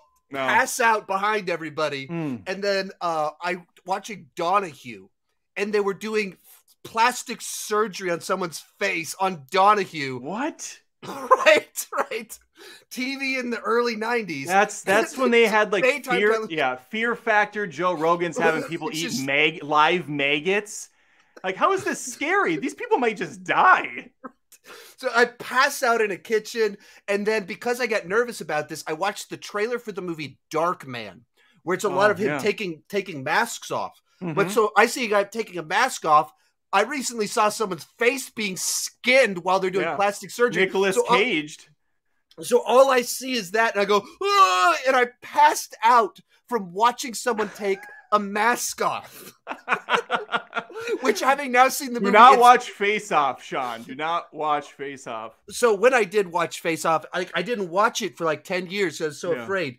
But all that to get back to where we're going. Yeah, that Yes. scene in Birds of Prey was pretty freaky for me too. What a what a long walk and worth the worth the trip. Just to loop back to say, I agree. You know, this is maybe why we have never communicated before. I Yeah. feel like we wouldn't get anything done in life. Uh, where did you put this? Oh, oh, I'm sorry. I go. I'll go first. I put this at number seven. No, no way. Are you serious? We've had we've had single digit flip flops and then the same. Are you at seven? I'm at seven. This, this sucks. What a waste of time. You didn't even need to come on here. I could have just done this by myself. It- I, I actually had a lot. I it worked out. I was really hoping you're gonna have this at least one lower than me, and I was gonna go. That's because you're sexist. I was That's like, 'cause you gonna I was gonna, That's 'cause you gonna go women. off on you. Like, I can't believe I came on this sexist channel. I can't wait to call you out on Twitter. This is gonna be great. And then we ended at the same spot. and canceled. Completely canceled. All right. Yeah. Well, that was Uh, exciting. You're done. We are. I feel like we're going a little quicker now. We're, we're over halfway. Oh Jesus! Well, we might be sexist now. Wonder Woman 1984, the gift that never gave us anything outside So of let's COVID. let's cut to the chase here. Do you have Yeah. this in last? I do have this in last. Why do you hate women? This is outrageous. Like, I walked right into it. Walked right into it. You set it up ahead of time, even. Oh, Why do you hate women? yeah, Um, it's messed up. I mean, I guess I do if if this is like the litmus test because I hate this movie. And upon rewatch, it was it was uh, actual torture. It, it's almost two and a half hours long. I was finding myself pausing it every ten minutes to just see how much was left, and I was Mhm. grow- I, I was doing these audible. Oh, why did I choose to make this a roast video? Really Yeah. bad, really bad. Um, we we went from a character who was incredibly charismatic, likable, strong, independent. Basically, everything a woman aspires to be, everything I ins- I aspire to be, honestly. And then we we flipped the script, and now she is a kind of like miserable, uh, man needing, weak woman who uses her one genie lamp wish to not just bring back her old lover that she knew for what an extended weekend. Weekend, How long like- did she know this guy? It's been it's been decades, Diana. Jeez, Uh, Mhm. she she brings him back in another man's body, Body. who I guess goes off into the like the void in Get Yeah. Out. I imagine he's in Get Out right now, and he Yeah, sees yeah. everything that's the happening. sunken place. Yeah, yeah. He's in the Stranger Things world. I like to, th- I like to think though, um, that he comes back and he's got some weird World War One STDs, and he has like stage one diabetes because of all the punishment that Steve did to it in such a. Yeah. Because at one point she wakes up and Steve's like, "This is my third Pop Tart this morning." just completely wrecks this guy's body and then just bolts. He's like, "I'm done. I'm out." I, I I mean, like, just even on that level of like you thinking through the plot, the ramifications of what we're actually doing, Yeah, and this is one of those classic plot points of all you do is you flip flop it, yeah. flip flop it, Oh yeah, and yeah. you What the say, guy did it "There's and, um, the- yeah, what if there's a girl?" Who's replaced her body's replaced with the consciousness of someone else, and this man is sleeping with the body of this other woman. Why woman. did they need to even do this? I- yeah, right? You could keep the exact same story, and Steve's just there out of thin air. It didn't require a vessel. What? Right. No one's thinking through the magical logic right of it. right the, the magic of this like mm, that the magic of that makes more sense than the magic well, according to the necromancer, um, this just doesn't add up at all. I don't, I don't really get it. Um, yeah, uh, Pedro Pascal, he plays, I don't know, like a like a like a Donald Trump esque type of character. whatever this this swindle like just salesman guy that like salesman who wants all this power and wealth, and he, it, he what is his goal once we Every- get past the beginning more. Just yeah, more more. more I don't know. He has a son, and it, it, that's supposed to be the thing that I guess we relate to with the character and sympathize with. Because at the end, after all the chaos is done, his kid somehow is hiding out in Washington D.C., just off in the woods, and he's like, "Papa, Papa." He, he's he's just out there, and Pedro walks out, and he's like, "Oh, son," and they have this slow motion. I just don't know. I don't know how you got to this point in the script, Patty. What were you thinking? Wait, I was reading uh, something yesterday. They're like the sequel to like the one of the best female empowerment movies of all time. In the sequel, there's a literal cat fight as the third. Oh act. my god, that's gold. I did. I brought that up in the roast. How there's a cat fight. I, I Yeah, love there's a that. literal cat fight. and, and as soon as you see it, you're like, "Oh, that looks bad. that looks so bad." And they just they forced everything for no reason. Uh, Kristen Wiig, who plays Cheetah Girl or whatever the hell I don't know what she is, Cheetor or something like that. She she wants to be like Wonder Woman, so she does the she's all that glow up where she takes off the glasses and puts on heels and suddenly she's hot. Yeah. and for some reason she gets two wishes? How does this how does this system work? All they have to do is touch the thing. They don't have to say a chant. They don't have to perform a ritual. They just touch it and they're like i want a coffee. And then oh here's a coffee so she gets a second wish and she decides she wants to be an apex predator and turns into this cat like a, a reject from the cats movie and it's really sad. Wonder Woman never uses her sword or shield. I guess she forgot them in World War One world, but she gets them back in Batman v Superman. The the logic at the time was that Patty Jenkins wanted her to be more of, I guess, a peacekeeping officer that doesn't kill. She's you know this joyous person, so she doesn't have her amulets anymore, or she forgets that she has them. Her lasso does everything this time around. It's like Thor's hammer. And we find a way to have it in an invisible jet, but Yeah. we have a sequence where they they go to a museum. Oh my god, yeah, they steal one. They steal a plane out of a museum, and as we all know, planes at museums have a fresh tank of gas. Of course, yeah, Um, and they just work. They, they they, just of course work, work. Yeah. And if you were a pilot in 1917, Mhm. you probably can fly a jet. no, well, no, Sean, Oh, no, no. oh, I just rewatched this. Okay. They they purposely find an old timey type plane, like one that he knows the uh the Okay, manual okay. because he watched That's- Top Gun back Gotcha, a couple years ago. Yeah. Uh, but what what's really funny is they go in this plane and, and she's like, "Oh no, we're on the radar. Our loud ass plane, uh, you know, from the olden times." Well, thankfully, I tried a trick one time. It didn't work, but I, I rubbed my hands together and I made things disappear. She does that. She's like, "Ooh, ooh, I hope this works," and it works. It, it- it's the, the lamest thing ever. Why? Why did Patty think she needed to force all of these dumb Yeah. elements into the film? Like no one's no one's clamoring for the invisible jet to make an appearance. I, I understand Yeah. that's kind of an oxymoron, And- but It, it, do I recall that the solution to the problem has her using the lasso of truth on a radio broadcast that goes out Mm-hmm. To all mankind? yes, she uh because Pedro conve- everything in this movie is a series of fortunate events. It's all convenience all the time. So Pedro goes to convince the president to give him all the nukes or something. It doesn't matter. And right behind him, there's this beautiful presentation going on about a new satellite program the government's working on and super secret. And so Pedro's like, this is exactly what I need. And so he's able to broadcast to literally everyone in the world at once. And they all give him their wishes. And Wonder Woman had a lasso, and Gal Gadot just gives this beautiful speech about righteousness and, and doing the right thing and, and letting things go. And every single person on Earth renounces their wish. every one of them, because they had to all do it or it wouldn't work. It was beautiful. Completely beautiful. This movie's Yeah. a perfect film. Uh, yeah, I have it at last. You have it at, I assume, second to last. No, I, I have it at, at uh, twelve. Oh my gosh. Yeah. So this is where we've uh this is Wow. the furthest apart we've been oh, that's this right. I had it one under you because you said uh, because uh, you- Suicide I, I hate women. Yes, of course, Yeah, I hate you- women. Um, Um. So yeah, I have it. Uh. Um. I have Suicide Squad and Joss, uh, Justice League below. Justice League, right? Interesting.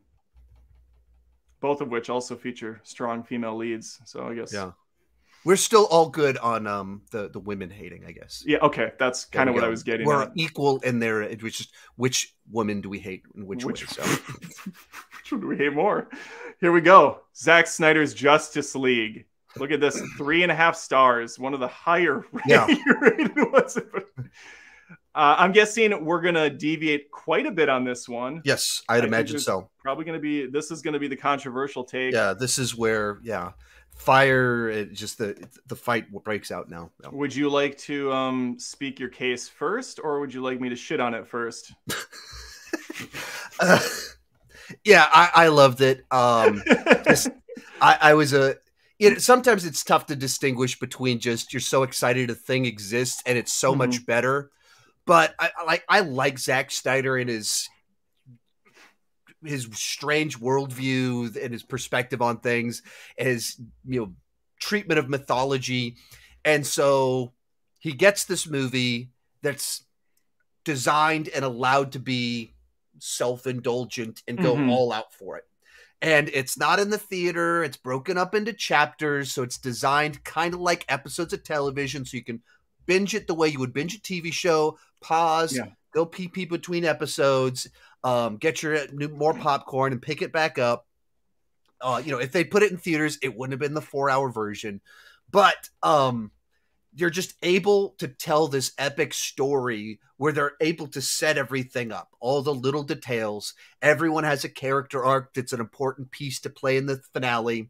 And when you can see the bastardized version of Justice League where they Yeah. removed all of that and they tried to just cut between all of it and make everything happen, uh, and you see it, it, it, all of the tension, all of the setup, Yeah. was removed, and so it's just intro to scene, payoff, next scene, um, and suddenly you see the version of it that sets all slowly builds through the pieces, and even the um, the attack uh, on uh, Themyscira and the way that it plays out I love that scene.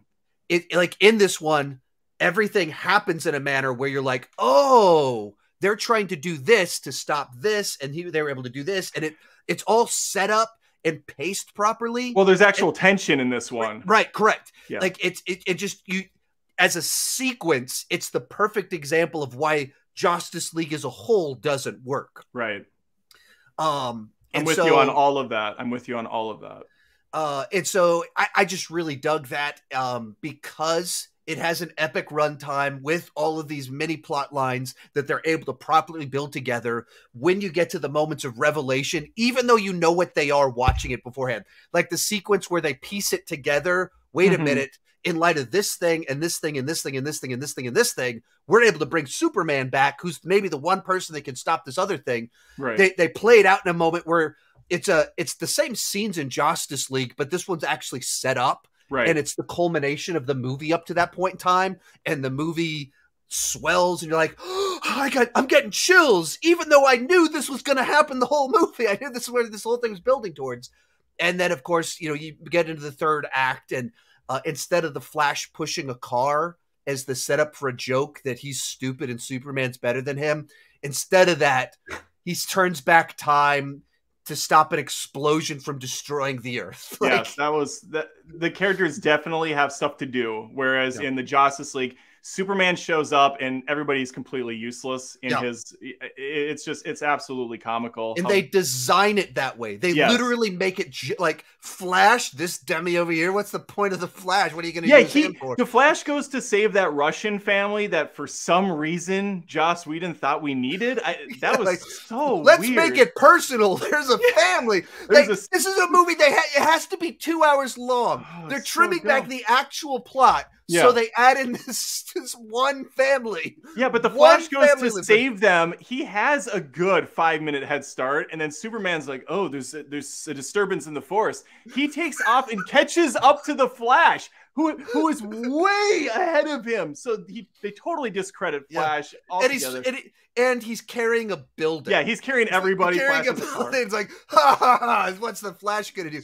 Yeah, I the uh, so I um grew up watching the 1990s Flash TV show, Oh, I remember And- that. Yeah, and uh, so I was at a Comic Con he that eats the bowl of cereal really fast. Yeah, uh, yeah, I, I, uh, I recorded over my mom's copy of Flashdance to record the pilot movie of the Flash. that really happened. That's awesome. Um, it's I I met him at a at a Comic Con a, a few years back, and he Oh, like told us, and people were like, "What did you think about the Justice League movies?" Like, you could tell he's trying to be political. He's like, the whole movie treats the Flash as a joke. Like, Yeah. like my life has kind of been defined by this character. They finally put him in a movie, and the the even in the finale of the film, he's only used as a punchline. Like this Yeah. stupid guy. But he And- jokes and it- about brunch, which is a just a joke straight ripped off of a Seinfeld episode. So that was fun. But all that to say, and then you, but you get to then this one of like, you, you like how crazy it is that there was better, there's these better ideas that they're like, nah, let's let's do a joke instead. Yeah, Cyborg actually has a plot or like a Mhm. like a narrative arc, which was Mhm. nice. I So I- anyway, yeah, I'm a huge fan. I I appreciate all of that, and I do agree. Oh god, my screensaver went off. Hang on, let me get back to Uh-oh. it quick. Wow. hang on. This kind of the ambiance of this live stream kind of just This got awkward. Yeah, maybe I should go to a different one. Hang on with me. I got a Harry Potter icon. That's how you know we're going too long when uh, my screensaver is like, we're done. Let's do um let's do Suicide Squad.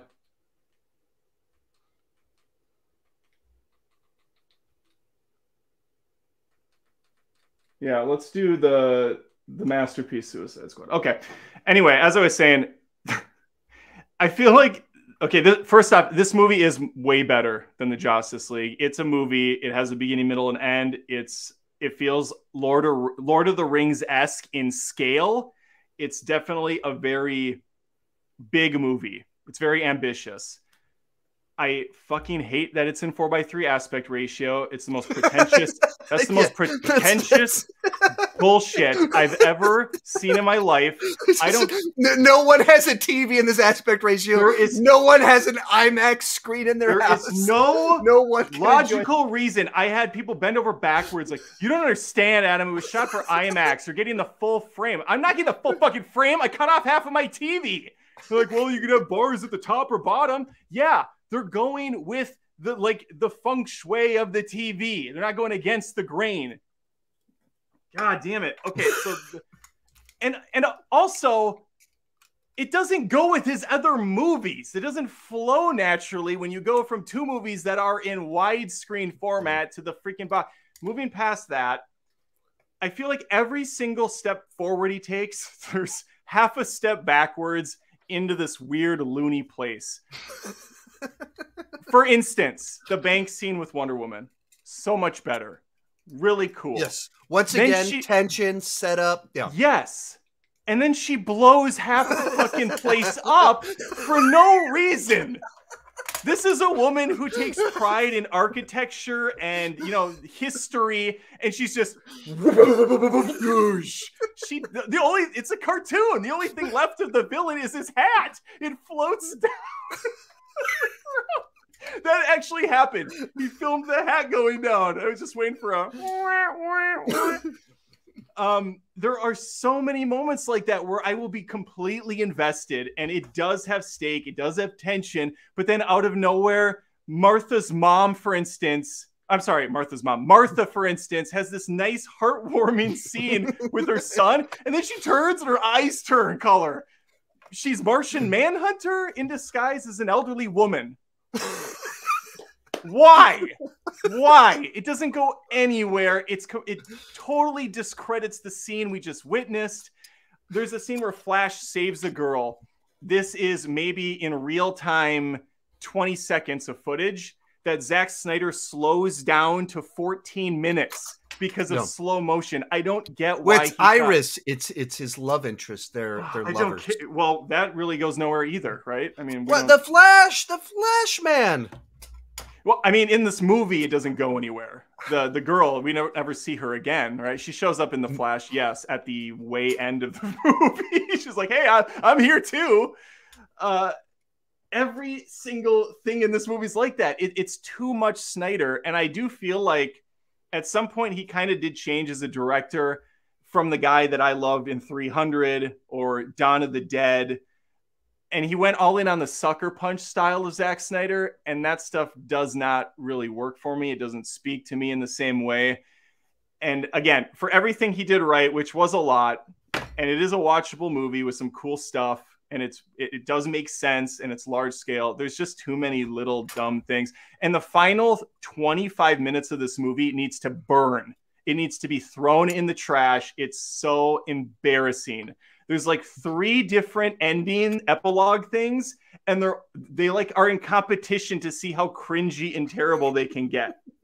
Like fucking jokers in they're back in the wasteland again. I was half waiting for my brother to come out of the bathroom and be like, what did I miss now? Mera's there. She lost her accent. She has a British accent now or something. Crustacean armor. Batman's in the duster. I don't know why he's still dressed up as a bat. Now it just seems stupid because there's like nobody left on Earth. So who are you? Who are you fooling, dude? They all know you're Bruce Wayne. Anyway, I, I could go on and on about this movie and what a clown show it is, but I also don't hate it at the same time. That's what's so weird about it. I I had a good time with it. I'm glad he got to make whatever this was supposed to be, and and now we're done. Now we're, we're done. Uh, I put this at number five. You got it at number one, As- don't you? You are as a, a- fucking Snyder. As a true fan of cinema, Here it is. I have it at number one. I was gonna do a spit take, but I don't want to ruin my stuff. Um, yeah, that's wow. Okay, As someone that understands they got to you. character arcs, They got to you. cinema, They and that has you. been threatened by them many times. Blink twice if they're there right now with you. okay, well, um, you know there there is that. I can't say I can't say I'm not disappointed, Sean, but we had a good run. Let's go back and see what else we can salvage out of So this now relationship. I'm trying to piece together your number one, and I'm assuming it's Black Adam that you haven't. gross. Shazam two. Now you're getting there. All right, we have the Suicide Squad. I'm looking at your Gunn. score. I'm piecing this together. You're one of those people. What- What You're one of those MCU fanboy Yeah. James Gunn, Yeah. keto, hates the sound of freedom. Uh, the Su- the Suicide Squad 2021. He did it. James Gunn saved the DCEU by burning it to the ground and making it like a phoenix rising from the ashes. This is really just a, a starter pack, I guess, for Warner Brothers to kind of test and see what this guy really can do when he doesn't have the Disney bucks behind him. And it turns out he can do a lot. He, he basically took the same character, Deadshot, uh, changed him a little bit, classed him up with Idris Elba. Basically the same plot. Uh, he's got the daughter that just that doesn't think highly of him. He, you know, he's going to prove this himself. not subtle. What happened here? Not subtle in the slightest. This is what we call a soft reboot. It's technically a sequel in the same way that Jumanji is a sequel to Jumanji or whatever the hell they called that. Welcome to the Jungle. Like, come on, you're you're a freaking new movie. This brought over Amanda Waller, which I'm actually glad about. I think Viola Davis is so good in these movies. Uh, they brought over Boomerang to kill him off right away. They brought over uh, obviously Rick Harley Flag. Quinn. Yeah, I I freaking dug the vibe in this movie. It's definitely got like a bit of a Guardian style to it. Obviously, James Gunn's known for his music. He blends it in here very well. Unlike Suicide Squad, he doesn't just slap shit Yeah. on top. He actually builds his scenes and storyboards them around his Yeah. vision. Um, Right. Well, and even is even to do a little rabbit trail on that, but like he actually has a deep knowledge of music. Yes. If he picks a song, he really knows what he's doing with it. It's not superficial. It's not pandering to the lowest common denominator. Right. Even to like you know pick on a, a totally different movie, but like Thor: Love and Thunder, oh, it felt like Taika Waititi. He knows Led Zeppelin and Guns N' Roses. Wow, where did you discover these two obscure bands? No, Like, no, okay. S- seriously, Sean, there ha- this is a conspiracy theory. There has to be a thing with Disney movies now uh, after Thor Ragnarok, where you know, obviously with with um, uh, now I'm forgetting the name of the song. What was the big song in Ragnarok? Ah, Immigrant uh, Song. Immigrant Song, yeah. After Immigrant Song, I guarantee you, Disney started doing this shit where they're like, okay, if you want to be featured in our next big tentpole MCU movie, pay this much money and you can get a t-shirt in the film. You can get a poster in the film because Thor Love and Thunder doesn't just have one song by Guns N' Roses. There are two songs at least. There's a freaking poster on a kid's wall. He's got a shirt and he calls himself Axel. Give Mhm. me a break. yeah. There's something going on. There's something What- going on. But but it, uh, but like it's it, it's the most superficial version of Yeah. what James Gunn did really well. Right. Where like even in an interview, James Gunn's like, yeah, I, he, I in an uh, interview with Michael Rosenbaum, who's a friend of his, he's like, well, you know my taste in music, you know this isn't the stuff I listen to. Like Mhm. he said that he's not putting in his favorites or like the two songs he knows. He's putting in the songs that he think fits the characters in the movie and what he's trying to do and what brilliant. Um as opposed to yeah like everyone else just like bohemian raps cares. Yeah, right he cares and he he actually knows stuff he actually Did you watch uh, Peacemaker? Yeah. That scene with House of Pain playing is Mhm. just top tier. Uh, Mhm. one of my favorite moments in in a, a TV show in a long time. Mhm. But this this movie is full of you know great action, some really really fun characters. I mean, he, he James Gunn is in his prime when he's making these ugly, disgusting Mhm. creatures Mhm. lovable, things you care about for some reason. I think Harley is top form here, and I really like the idea of yeah, we're gonna make a Suicide Squad movie where people are actually disposable. We're gonna Mhm. kill off Mhm. the original team in a misdirect, and that's how we're welcoming people into this new wild world. I, I dig this movie a lot, and I'm very excited for uh, what he has to bring to the Yeah. DCU going forward. because you're one of those people I'm one of those people. Zack Snyder and Yeah. you- how dare you Yeah, how I'm, dare I'm, you I'm, I'm anti Snyder, of course. Yeah, 300's like in my top 100 movies of all time. By the way, I love that movie. And, and when it came out I've never Mm. seen anything like that before Oh my god, just like so such awesome. and like like a movie with such a distinct aesthetic Yes, uh, such a vibe to it. Uh, Yes. and I hadn't watched it in a long time, uh, and I you know, watched it whenever um, a few years back, whenever Zack Snyder had two movies come out in a year, and just watched Mhm. all of his movies, and I was like, "This movie holds up. It's just Oh. so good. it's just such a bro flick, and there's so many great quotes. unashamedly a bro." Oh yeah, oh, and, It- and my it- wife loves it too because she gets to see all these hot-looking dudes kicking Mhm. ass. Again, it's that whole animal, you know, Yeah. vibe thing. But the the dialogue in that is so freaking good. I Mhm. hope you had a hearty breakfast because tonight we dine in hell. And Gerard Butler is just selling everything. Man, Wait, if you think about like he's like he'd been in movies before that, yeah, he instantly became a big movie star. oh yeah, Ju- like it was one role, and, then just- he instantly stopped being a big movie star when he did like four terrible movies. Gamer and uh, I, I don't even. He did a couple rom coms. Oh, yeah, ugly truth or something like that. Yeah, Oh yeah, such a strange career that never never recaptured the magic of Leonidas. But any anyway, so Yeah. back to the the yeah. Suicide What, what do you think of this movie? So I, I've got it way up there, not quite as high as you, because yeah, I've run out of top spots. But Mhm. um, uh, what I what I love about it is um, so much of the comic book movie genre now is inspired by the past comic book movie genre where we have a checklist of what you need in a Marvel movie, of a checklist of what you need in a superhero movie, and so I, I call it like basically creative inbreeding, where they're just movies, just they're coming from themselves. They're just all in the family line and diminishing returns, and then you start getting these freakazoid things eventually Yeah. out of it, and then you watch the Suicide Squad, and it's very overtly the Dirty Dozen plus DC course, and you yes. and, and and with the concept of the suicide squad you go that's not like a far stretch, you go, Mhm. that makes sense. Those two things go together. Let's merge those up. And so it feels different. It's pulling in outside influences um, while being kind of true to other things. So it feels fresh, new, different. You have that James Gunn ability to take weird, oddball characters and find their humanity, like Polka Dot Man.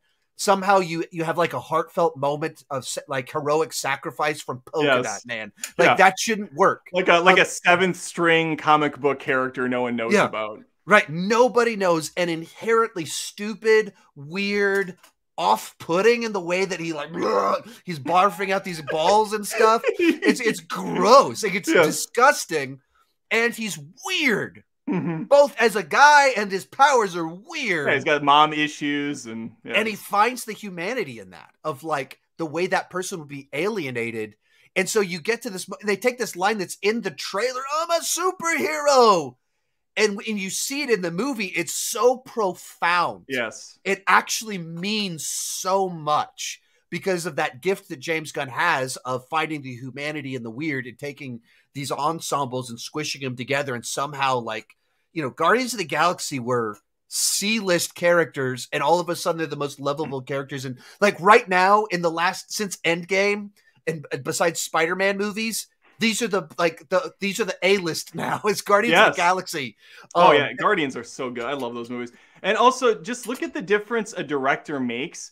Rick Flag is in both of these, and he is atrocious in Suicide Squad. right. He- He's like whining it like he's, he's like, when I saw him girlfriend- show, when I when I heard he was in this one, I was just thinking, what? Why are we bringing Rick Flag back? Yeah. First off, his name is Rick Flag. Secondly, he sucked in Suicide Squad. He was getting his butt kicked constantly. And And, yeah, he's whining about a girl. It's like Oh. this mopey guy, like, oh, Oh. my girlfriend, she played Yeah, around with magic. June June Moon or whatever her enchant the enchantress character's name is. Yeah, I love this. I have it at number one, number uno. I'm guessing you have it at uh, four. We'll say four for today. Oh no, is it lower than four? No, it four four can be a faithful, real answer. Okay, that's fair. That's not. Okay, I will. Ex- I will expand in the near future as we only have a few options left. we do only have a few And, and left. sh- you're thinking what could be competing for some of those higher spots. The well, next certainly the next one that we're going to talk about, I imagine the the the power dynamic has shifted or whatever. What did he say? What was his line? something like that. I mean, I think it was I mean, that. The Rock Power Shift DC. It was like some stu- super like stupid thing. Oh, the hierarchy of power in the Hierarchy DC power. There we go. universe is Hierarchy about to change, brother. we missed- that's a good phrase. hierarchy, of power. Yeah, it certainly did. It certainly did. We, uh, I don't like this movie. I think it's it, it's really dumb. Uh, I do think it's you know it's a watchable. It's watchable in the way that maybe you, you have nothing better to do on a Sunday Sunday rainy afternoon with your kid, and you want to entertain him for a little bit. But outside of that, I just feel like this movie uh, came out in 2022, but it feels like something that would have come out like alongside Jonah Hex or or Ghost Rider. And because Dwayne Johnson's such a big star, they were able to pump more money into that script and make it seem like it was this monumentous, amazing thing. When in fact, it's really just got like a rip-off X-Men school and characters with a rip-off Superman character set in the most green-screened, bland city I've ever seen. Yeah. That's it. I liked it too. I thought it was great. This is actually my number one film. I, I decided. yeah, that was it was a Zack Snyder's. Justice League is actually at eleven. This is number one, of course. Uh, I had a lot more fun with it, but Mhm. I it's another one of those movies, it, it, very much like Aquaman. Of like, I had I, that. I enjoy playing with my DC characters in the movie, Sure. so I just have more fun. You like the skateboard mediocre- kid? You like the the kid in the movie that That's that's what really grounded it for me. You was liked the "Hmm, Black Panther triangle thing they were trying to do, like the Wakanda Forever. th- uh, This is the sarcasm coming through. this is where we're getting the the com- the confrontation. And then my a, my halo forms above my yeah, head. the Halo's Oh. Um, coming out. As a, a generous person that just th- these people worked so hard on this movie. How dare you treat Oh them this way about this? This they you know, worked movies take a long time to make, right? Why don't you make a movie? Why don't you make a fucking movie? I love that. That's my favorite. Where's where's your script? Could you really do better? Come on, hey, hey, show me the movies you made. I'm sure Yeah. they're great. You just wanted to be in this movie, and Mm-hmm. you're jealous that you didn't get cast for it. That's it. I've You cracked the code. yeah. It's so Um. So I it, it- my my son is a big fan of The Rock, so went to go see it. It was just a lot of fun to watch Hmm. the movie with him, yeah. see the big grin on his face. Um you know, I, I call them Taco Bell movies. They're cinematic fast food. That like my taco my my tacos from Taco Bell are always soggy. It doesn't stop me from ordering them every Sunday and Sure. dousing them in Diablo sauce. Um so there that's what this is to me. A movie that like on no level could I defend this, but for me it's very consumable um just fun stuff. I get it. I totally get it. And I think I'm definitely harder on this film because Dwayne Johnson's shtick of being Dwayne Johnson is wearing very thin on Yeah. me. And again, because the script feels like something much older. I, I just he was been- cast 15 years ago. Yeah, He was cast in like 2008. And so there's a side to that that's probably like, oh, that's kind of real. Yeah, I mean, and that's that's kind of the whole jaded, cynical thing again with the like you were saying with the MCU. We, we we've seen this stuff so many times that the the sheen is gone now, Mhm. and all again, Black Adam. If you don't watch a lot of superhero movies, if this is one of the only superhero movies Right. you've seen, or and that's that's fair. A lot of people have only seen they they're not like us where they watch all of this trash. I would I would definitely score it higher, but because I've been here so many Right. times and I know Dwayne Johnson's thing, it's just not doing anything for me. Yeah, and I think that's where a lot of these movies kind of fall into that, or Yeah. well, this one, the next movie on the list, they fall into that category of okay, it, it it's moving fast, it's it's delivering all the the people in capes flying around skyscrapers and buildings are blowing up. The novelty of that, It's Well, it's fast it's not- and, it's fast it's and the gone. furious with with a with a cape on. I, Yeah. I didn't feel like concerned for anyone. I didn't I didn't really understand the plot that much. I, mean, I didn't care about it. Uh, I put this at number ten. You're at like a you're like three. no, no, I have it at nine. Okay, we're back. We're back, baby. Yeah. There's we had a couple where we went off there for a little Yeah, bit. the, Wow, the parents were fighting for a little while, but we're uh, back. we're okay now. Okay, we're we're I- we made up. Well, My heart was we can- racing there a little bit. Yeah, you know, it's not often when I watch a movie, put out a review, and then immediately think I was maybe a little too nice about this one. Shazam Fury of the Gods is that movie. Saw it with my kids. We enjoyed it. And then I let it sink for a little bit and I thought, did I really mm-hmm. like any of that movie? I don't I don't know if I did. I have it at 3 stars. That's maybe generous. This one more than any others, I found myself kind of hating Zachary Levi or Levy, whatever you say. I, I didn't like him in this movie. He, he mm-hmm. really annoyed me. Billy has matured even more than he was in the first film, and then Yeah. he, for some reason, regresses into this man child that I don't think he was ever in the same room as the kid actor because Yeah. they're nothing alike. It, it's Right. lost in translation. The movie is it, it's it's fine. A lot of big explosions. Honestly, it, it's pretty much Black Adam again for me.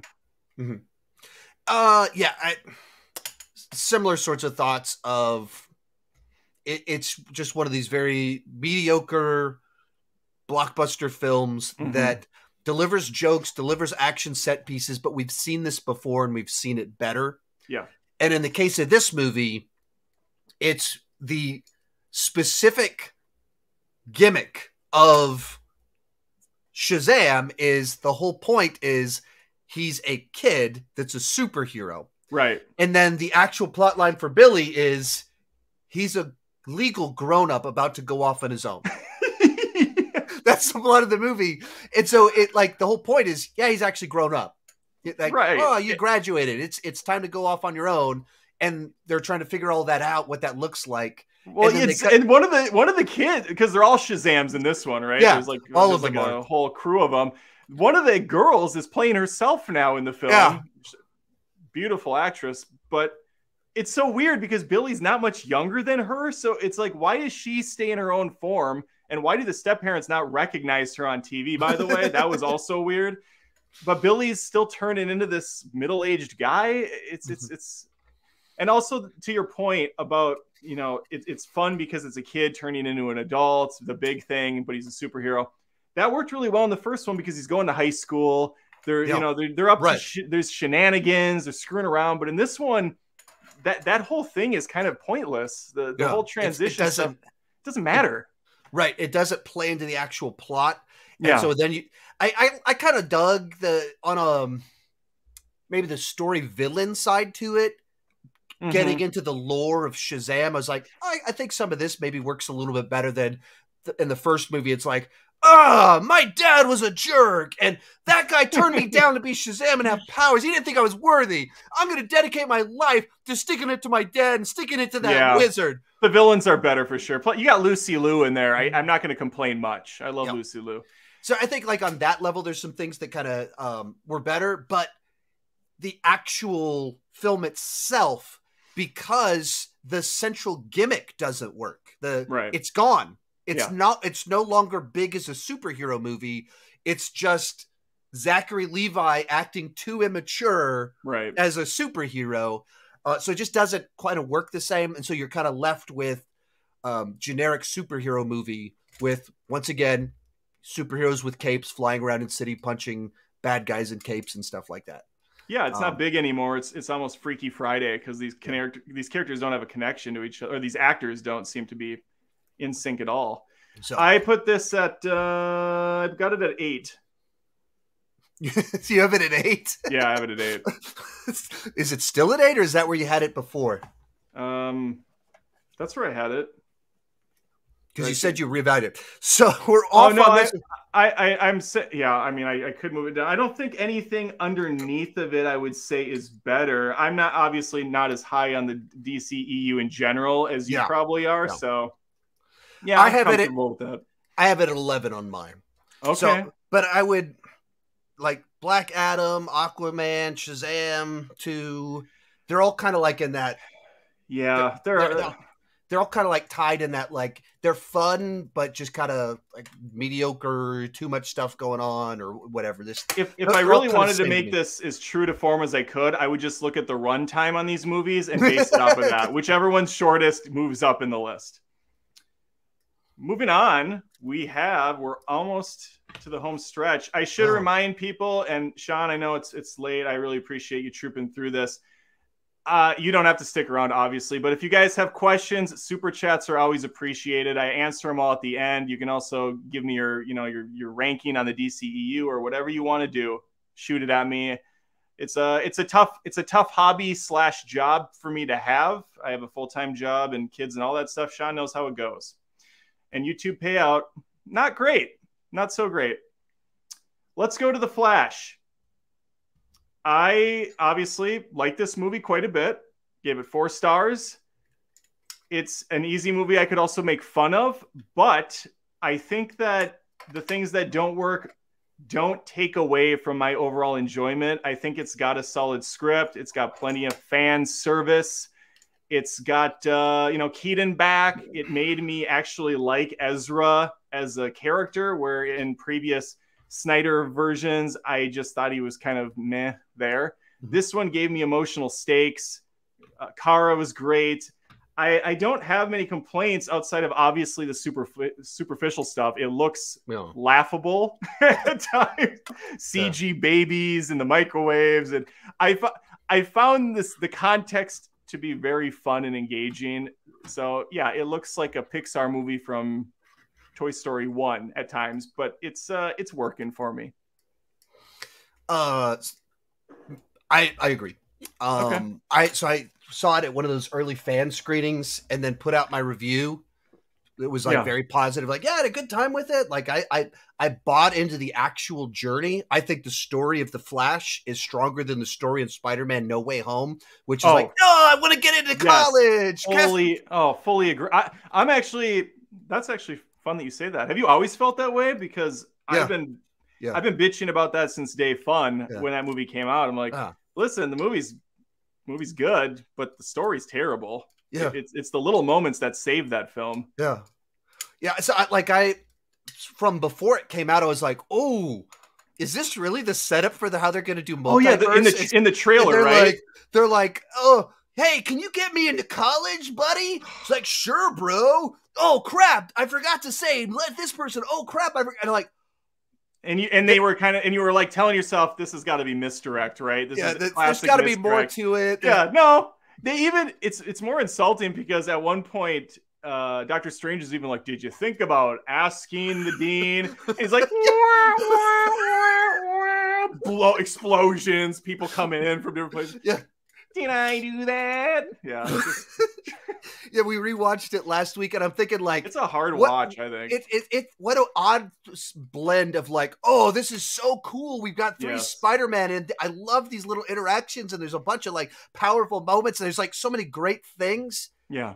And why why did they not put the same amount of passion into the plot as they do into like this like the actual interactions it was so weird I don't know. It's so weird. And why why did they just save all the good stuff for the last 25 minutes? Like everybody was going to be in love with these characters coming back. Make it the whole damn movie, you know? Make make we wanted to see these guys together for so long. Whatever. On to the But anyway, anyway, Flash. so, so on to the Flash. So all that to say, I put up my review from one of those early fan screenings that oh, watch the Flash and was like Mhm. really positive on it. Went to go see it opening night. I was like, no, I really I, like. There started the buzz started to shift by opening night. And I was like, no, I think I really dug that. Yeah. And um, you know, the people I, I saw it with the kind of the fan meetup, and they weren't as hot eye on the movie as I was, but they were still like, yeah, I, I dug that. And then the next two weeks on the internet, well, I guess the, next, the last two months on the internet have been like the crappiest movie of all time. It's a total disaster. It's a night like, and I'm Oh, like, yeah. The what? Snyder the What- Snyder cult came out. The Like, Snyder what- cult came out. They were leaking like- that they leaked that whole damn movie on Twitter. It And- I'm like, crazy. like doubting myself like, did I see a different movie? I was like, yeah, I it's a movie too. that like I like I watched it two times and it was like there's an actual character arc for the central character. yeah. There's like a really potent, mo- uh, poignant movies or moments at the end of the movie where he's Yeah. with his mother and having to make choices that they actually matter, matter, and it like, um, and it, I, I've read Flashpoint before, and the way that they incorporated the Flashpoint plotline into the DCEU, I thought was clever and smart. Um, and it, you know, it's not beat for beat, but it has the moments and it has the elements, and so I just thought it was like really well done. And the CGI sucks. Yeah, CGI. The CGI is terrible, but uh, it doesn't. It doesn't really detract from me outside of the babies looking Yeah. horrendous. Yeah. But it's also one of those rare movies where they bring they dust off that cape for one last ride, Harrison Ford style, and they got Michael Keaton, and it's I think one of the only times they don't treat the guy like shit. They don't. Right. They don't make him a punchline, or they don't make him die on a rock during a Skype call on a different planet while Right. the you know. Well, it, it's they, they they introduce him the same way all the other ones do of like he's got the beard and he's retired right. and then they give the reason he's retired gotham is a great city yeah. they literally they they they're like It's like a mission accomplished banner. right like it's like the one batman timeline where batman succeeded and so the Oh, reason that he's kind of lost is because he did it they gave him Yeah, the victory yeah. it's not like all the other ones it's like well Han Solo, Indiana Jones, they're deadbeat dads. Right, They're, yeah. they're alcoholics. Oh And my it's- god! Yeah, Han's still out there avoiding, you know, child support payments and smuggling. It'd be really funny if if uh, the camera like pans over and uh, the toilet flushes and Joker comes out like uh, you know like cleaning his hair. He's like, "Oh hey guys, what's going on?" He's best friends with Bruce Wayne now. But oh, anyway, yeah, it's just, like I, I watched it and I was like, yeah, you, you- like it had the fan service and it felt more earned. Um, and like I, the, the there's a it's a bit odd in the third act where the final reveals make you be like, okay, like was everything we just did pointless or it's part of the character arc? It's a weird, it's kind of a weird way to crescendo your movie to Yeah. be like we're gonna undo this entire timeline. It's kind Yeah. of weird and awkward. Like when you stop and think about it, that's fair. Um, CGI, I objectively it's terrible, but if you buy into the movie, you don't care. And I bought into the movie. That's And exactly so- that's where I'm at. Yeah. and, and I wonder, like, I've wondered how much of that is is a, a certain generational aspect to it. Of if you're a little bit older and you've Mhm. lost some people, and you have a little bit more of that thought of like, what if I got a little bit more time? Yeah. When you're 25, you're 20. That's not as those thoughts don't cross your mind quite as much for as many people. Right. I don't think it's as common, so it's not as relatable. Michael It- yeah, Keaton, it's- it's, it's not def- Tobey Maguire, Andrew Garfield.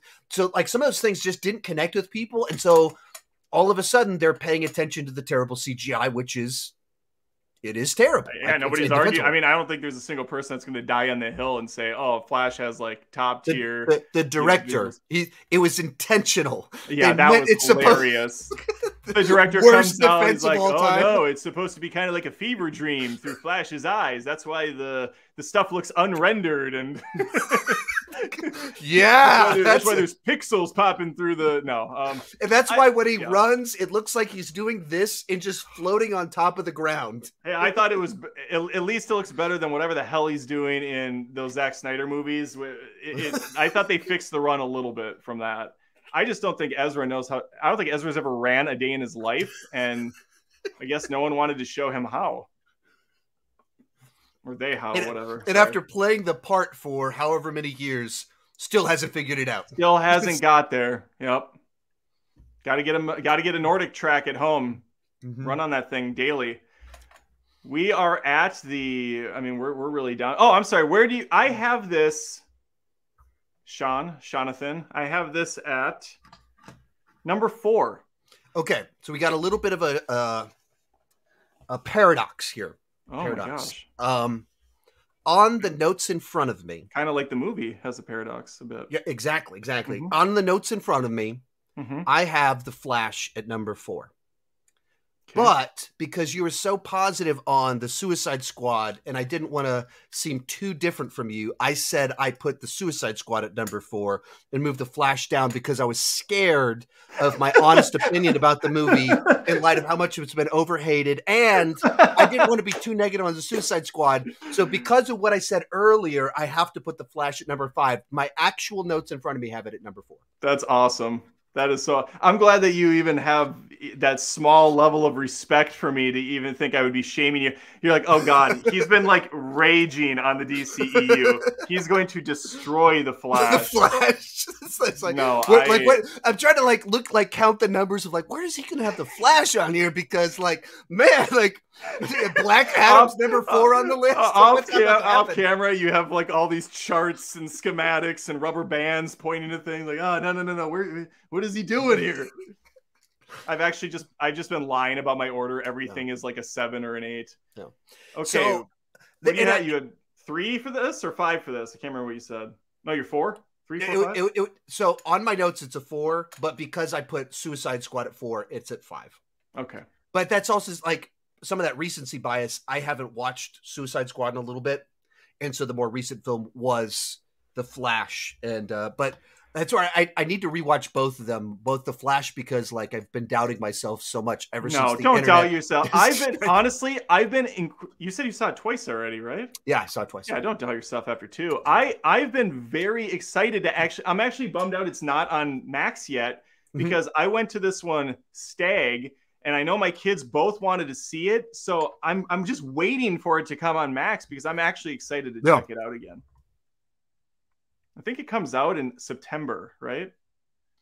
I'm surprised that haven't already put it on. They Max. started push. They started pushing them back further. I guess they realized. Wait a second. When we How the- release them two weeks after the theatrical, people are starting to not go to the movie. Or on the same day. Or on this. Well, yeah, of course. Which for that the entire year of 2021, you do the so- same day. ridiculous. There's consequences. Some dipshit comes into the uh, into the studio and he's like, "All right, hear me out. We release Kong versus Godzilla day and day on Max and in theaters. Mortal Kombat day one in theaters and HBO Max. Wonder Woman 2 uh, like that person should be fired 10 times over because he lost that company a lot of money.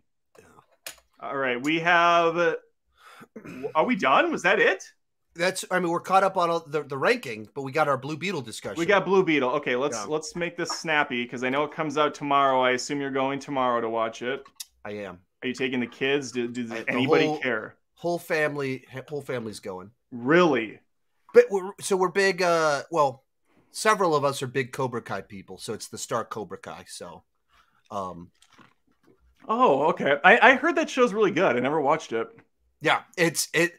Um, it's tough to like understand why it's so good from the trailers.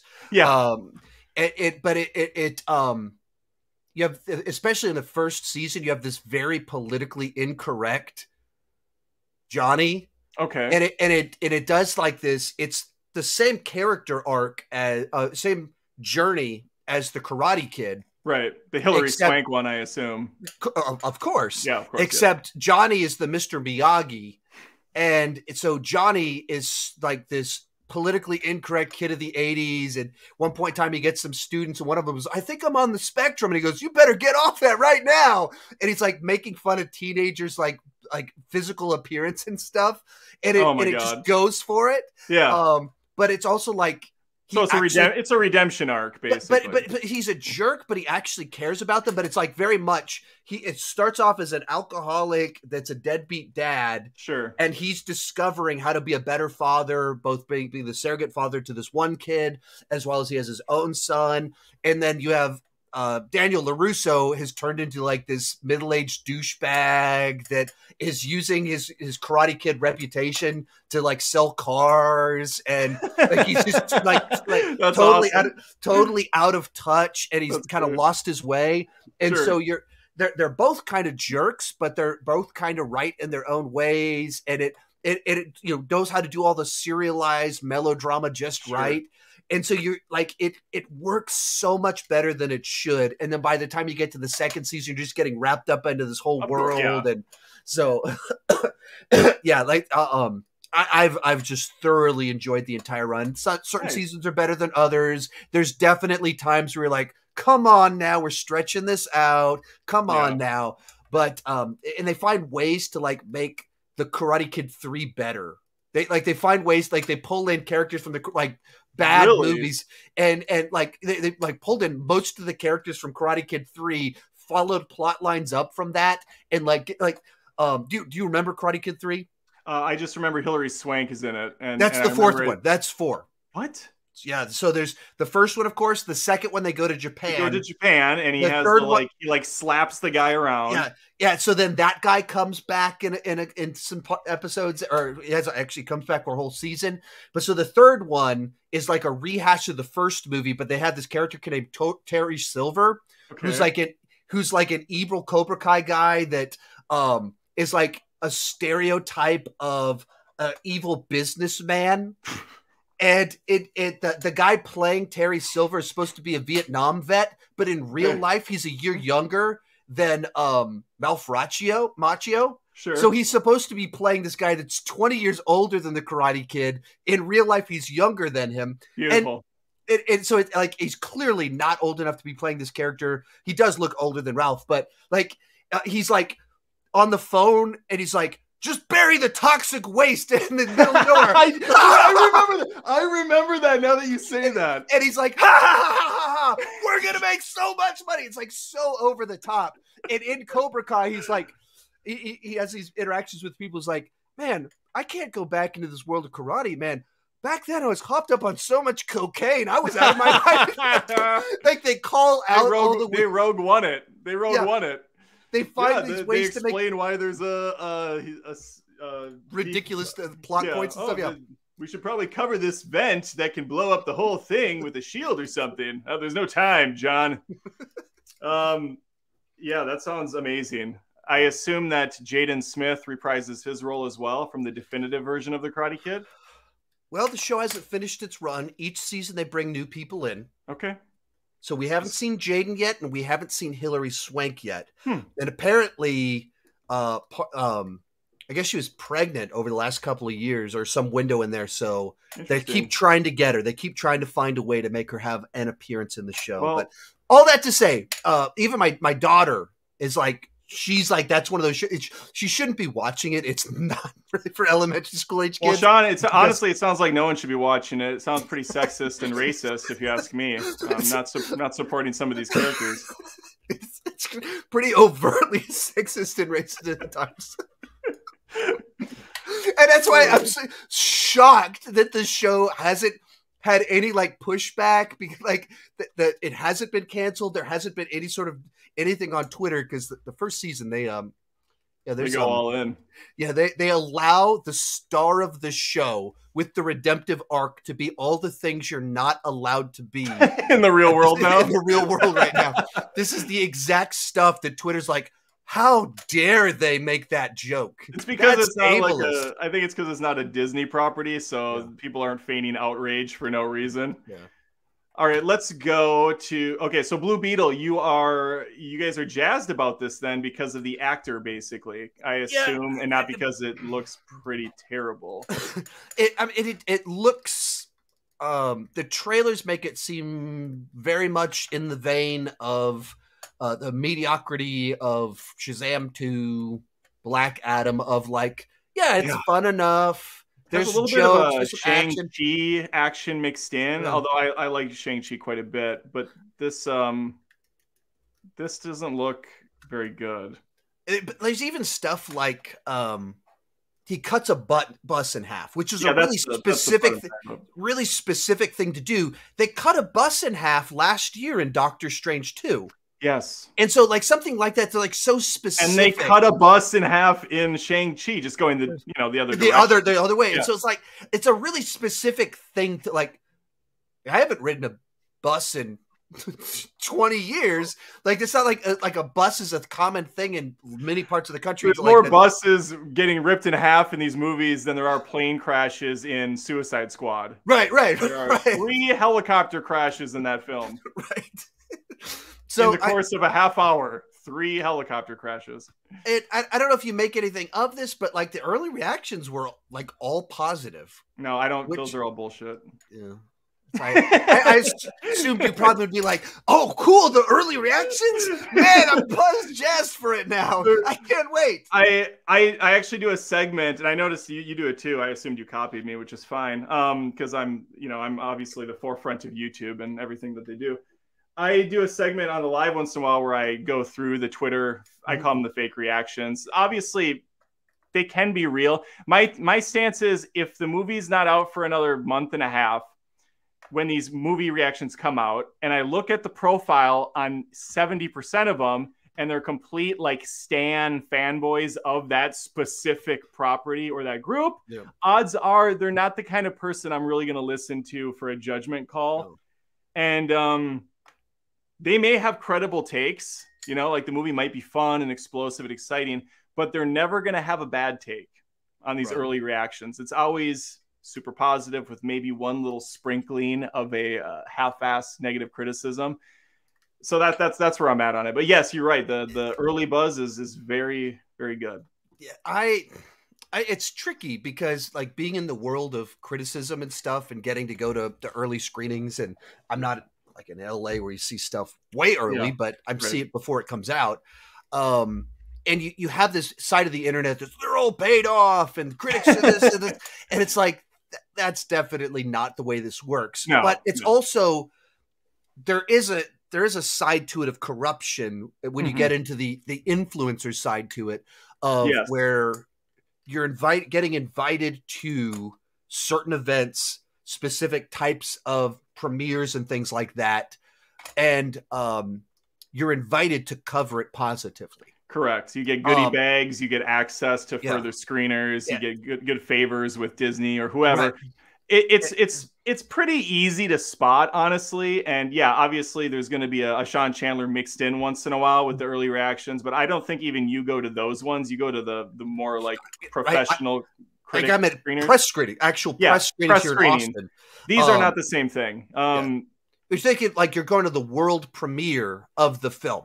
yes. So you're like going to an event and you're standing there. Dwayne the Rock Johnson walks by and he's like, "Hey, what a selfie!" And he's like, exactly. Do you think you're going to have a bad night if Dwayne the Rock Johnson just took a selfie with you? Right. No, like no, John, that- John Campea goes to those, and I don't ever listen to anything he says based on that. Like, I saw you on the red carpet taking photos with Tom Holland. I'm pretty sure you're gonna love the film he was Right. in. And- so the, you, factor that there's people that are watching it in the best possible context, and one of the reasons they're getting invited is because they tend to be very Right. positive on these things. Right. And the part where it's, you start getting into real complicated stuff is we're in a world where influencer and critic there's too much overlap. There's overlap. Yeah. um and there's quite a bit of overlap and it's the I, the first time ever i've i've had overt overlap for me is that uh i had i was reached out to from warner brothers to go see an influencer screening of blue beetle tomorrow night and i was in there and it was like we need you to post th- three instagram Yep. pictures real and it was like you're covering the event Yeah, and you're you're talking about it a lot. And I was also invited to the press screening. And so I like I was like I'm, and I got invited to the influencer one first. I was like, I'm not going to RSVP to that. I'm, I'm Mhm. pretty sure there's going to be a press screening. So then I RSVP'd to the press screening. I was like, I'm I'm a critic. I'm not an influencer. Like Right. I, I'm a critic. Um, but there's that overlap, and so you have people that they write tweets really wanting to get the pull quote Yep. It's always the pull quote. and you um and it's it's really tough because you don't want to like there's like like all my friends have had pull quoted things before i've never been pull quoted because anytime i put out a tweet it's always this is great this is great but Mhm. and even as someone that's too positive even as you can see here too positive i enjoy some of these movies too much i have too much fun with them i'm trying to be fair even in my fanboyism so say Right. "Look, this is really good but some people might like, and I have that always have that other thing to try and be fair and balanced to all you all the people that aren't just too jazzed about these movies like me that have a little maybe a little bit more of a cynical side to it like Yeah. i want to be able to give a recommendation that filters out my fanboyisms that's useful Mhm. Warner Brothers doesn't read mine and go, that one right there. Let's pull quote that guy That's It's- our guy. that's that's making. He is clearly a fan of it, but he also is being honest. he's being He's- balanced yeah. in his take on it, and he's not using hyperbole. He's not using great buzzwords that pull quote. And so and that's- so is the Little Mermaid. So and so is like- capital I S. Just the, the most stock generic things I could possibly ever see. Uh, my favorite whatever I forget the guy's name, but uh, there's a guy that back five six years ago, whenever they started really doing these influencer Mhm. pull quotes and then they do the articles where they pull all the first reactions. Yep. He was like, they're not even reading what people are writing. No. And so then he writes these reactions. He hasn't seen the movie and he just writes one sent uh, two sentences that are the stock like this is a true work of art. This movie proves that comic book movies can be real movies too. Batman runs out the movie with no pants on, and you can see his dog. It's the best comic book movie of all time, and he lit- it's literally that overt of That's like awesome. two sentences that are just the cliche, right, right. The, the nonsense. boilerplate. just boilerplate, and then the third sentence is always something that just anybody like it's There so was a guy blowing chunks next to me during the movie. and then it closes out with another boilerplate sentence. And it was so funny because every single time these roundup articles would Yeah. snatch him, throw them in there, and he's side by side with all of the usual suspects with their their ones So posting that stuff. And then you have this guy saying just crazy stuff. That's awesome. I um yeah. All that to say, I'm really excited for Blue Beetle. you won me over. You won me over. No, I don't have any. I don't know who this character is, which sometimes is a is a pro, kind of like with Guardians. I didn't know any of that. I'm not like a big comic book person, so you know, like I, I'm I'm a little down on DCEU, but I love a lot of movies. It's not just it's just not superhero stuff is my forte as much. Um, I'll go to it, of course. And uh, you know, sometimes I going in with a little bit of a chip on your shoulder, or maybe thinking it's not going to be great, turns out for the best. I remember seeing Speed Racer in theaters, and that movie was just getting shellacked when it went out. Terrible reviews. I took my wife kicking and screaming, and we freaking loved Speed Racer. So, so we could have a Speed Racer situation for Blue Beetle. Uh, do you think it's going to make money? I The last couple DCEU movies have Yeah. bombed severely. Whoa, whoa, whoa! Uh, excuse me, sir. Oh. Excuse me. James Gunn said that Blue Beetle is the first DCU hero. He Uh. said that, sir. So this is not DCEU. This is DCU. This is this is if the movie makes money, Blue Beetle's DCU. If it loses money, James Gunn never said that.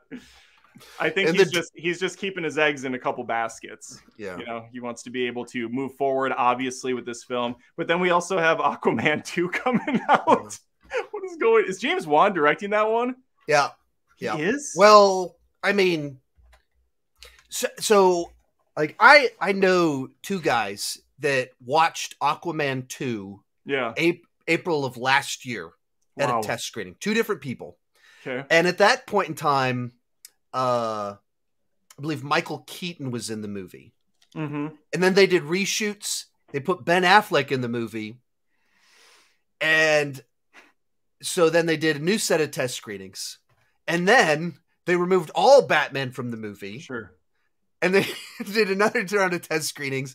And so it's a movie that, uh, in not quite a Suicide Squad or Justice League kind of way, but Yeah. it, it's the same crap. It's getting And band-aided together. That there, it's a movie that, first off, Aquaman way overperformed. It shouldn't Mhm. have made a billion dollars. Obviously, it shouldn't be the highest grossing DC movie of all time. That's weird.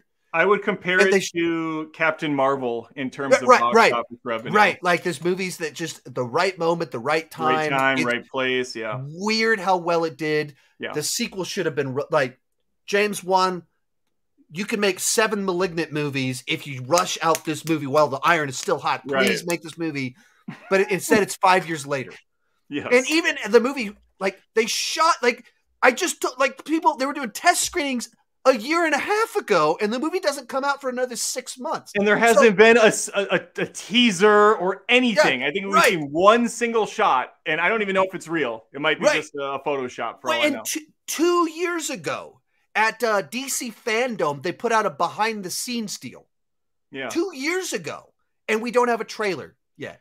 So it's just so weird. Uh, like, and so They're um, gonna they're gonna like do the Simpsons on this Aquaman 2 and the end of Blue Beetle is gonna be a end credit scene and they're gonna have Aquaman say, Okay, I'm going to my home planet now, and then they'll put Aquaman died returning to the Atlantis, and that'll be it. They won't even release it. it's not a bad idea. Yeah. but they- like they that's that it just um waiting too long to put it out announcing you're resetting the universe anyway when we all know wait you've got a you've got a year's worth of movies that Yeah. you shot yeah. and you didn't shoot them you didn't write them or shoot them to be the end yeah. overtly you, you didn't do that and you know before the flash comes out they're like oh yeah i mean if it makes a 700 million dollars we're going to do a sequel what are you talking about you're resetting the universe like what are you talking about Yeah, well, so Gunn Gunn did say something in this again. I think this was hedging his bets. Um, he did say in that announcement video he put out, you know, like six months ago or whatever, how he was taking over and he had all these big plans. One of the things he said was Snyder's universe is still very much intact, and it's going to be called Elseworlds. Didn't he say that? Elseworlds or Other Worlds. Basically, it was him going, "Listen, we're we're moving forward with what I got going on, but if for some magical reason these movies start making a bunch of money like The Flash because it was great, he said, he'll just keep going with those too and and they'll have like the Batman 2 coming out and then they'll have the Snyder stuff coming out and then they'll have the you know the, the James Gunn stuff and everybody will be happy. But yeah, these are bombing, so I don't I don't see that happening. Yeah, I don't. I don't imagine it's going to happen. I'm putting on a little show for the comment section that are curious about what I'm drinking. Oh, we didn't. Yeah. We, so you I tried to have lot- a- You can learn a lot about a person's character based on what they're drinking. I have a, a good old fashioned Coke on the rocks. It's my go-to. I, I literally built a monument of of sodas oh God. before we started filming, so I'd have like a, you know, Sure. nice display here. And then because of the way this is cropping things, it it didn't. You could barely even tell Yeah. my my diet soda addiction problem I have, but You're a diet soda guy. That's interesting. uh, it's because I drink so much of it, and I'm getting old enough that and vain enough that I don't want to let myself go. So I mean, I've heard, I've heard that that diet is just as bad, if not worse, than than regular sugar sugar water. Yeah, but it doesn't have calories, so even Oh, if it's, that- it's going to destroy my system and give me kidney stones, but at least it doesn't have calories. Doesn't have the calories. like, Calories are a myth. It's not real. Dry land's a myth. I've Yeah, my- it. Dry land's not a myth. I've seen it. my uh, mother and sister desperately ridicule me for drinking diet soda. Wow. I mean, just, you're just a you're a secure man. There's Yeah. nothing wrong with that. There's Yeah. nothing wrong with that at all. Um, I used to be big into Fresca years ago. Wow. So anyway, you know, as soon as Yeah. we finish, I'm going to Yeah. go downstairs and have a big bowl of ice cream yeah, that would be great. I do you like a nice filled like with sugar. like a snack of cereal. I'm a big uh, apple. Ja- uh, I'm not. I'm sorry. Uh, apple cinnamon Cheerios guy myself. Nice little meal. Uh, okay, so Blue Beetle, you you're super jazzed. It's probably going to be your favorite DCEU movie, from what I'm gathering, because you have a, a bias because of the actor from the show. Yes. I think it's probably going to be uh, a hot, messy shit, but we'll see. It could be great. Yeah. I How long is it? um, how long is it? Wait, how long is this movie? Please tell me it's under two. I am I am begging you to be under two hours. There's no they don't put that on Letterboxd. That's kind of disappointing. Wiki, Wikipedia Beetle, says 127 minutes, two hours seven minutes. Or 27 hours. Um movie's already at a 7.9 on IMDb, so that's that's legit. Yeah, two hours and seven minutes. We had to just skirt over that two hour mark, didn't we? No.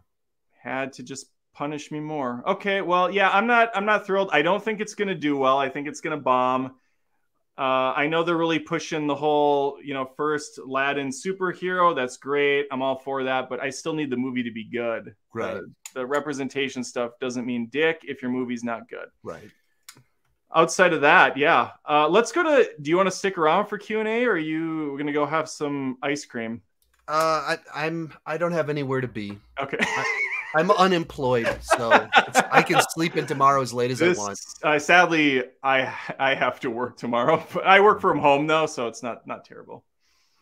All right, let's go to the. I've uh, uh I've been watching through the Wrong Turn movies, and- Oh. and- which it's Sorry? it's probably the worst franchise of all time. Just Yeah. sh- shockingly bad movies and um almost intentionally painful to watch. Just awful, awful, awful. are they? Well, so there's by several "I Spit on Your Grave" movies. I don't oh, know. Oh, if wow. You, yeah, I, I haven't one gone of down was- that path, but that- the first one was trash, so I didn't even go to the other ones.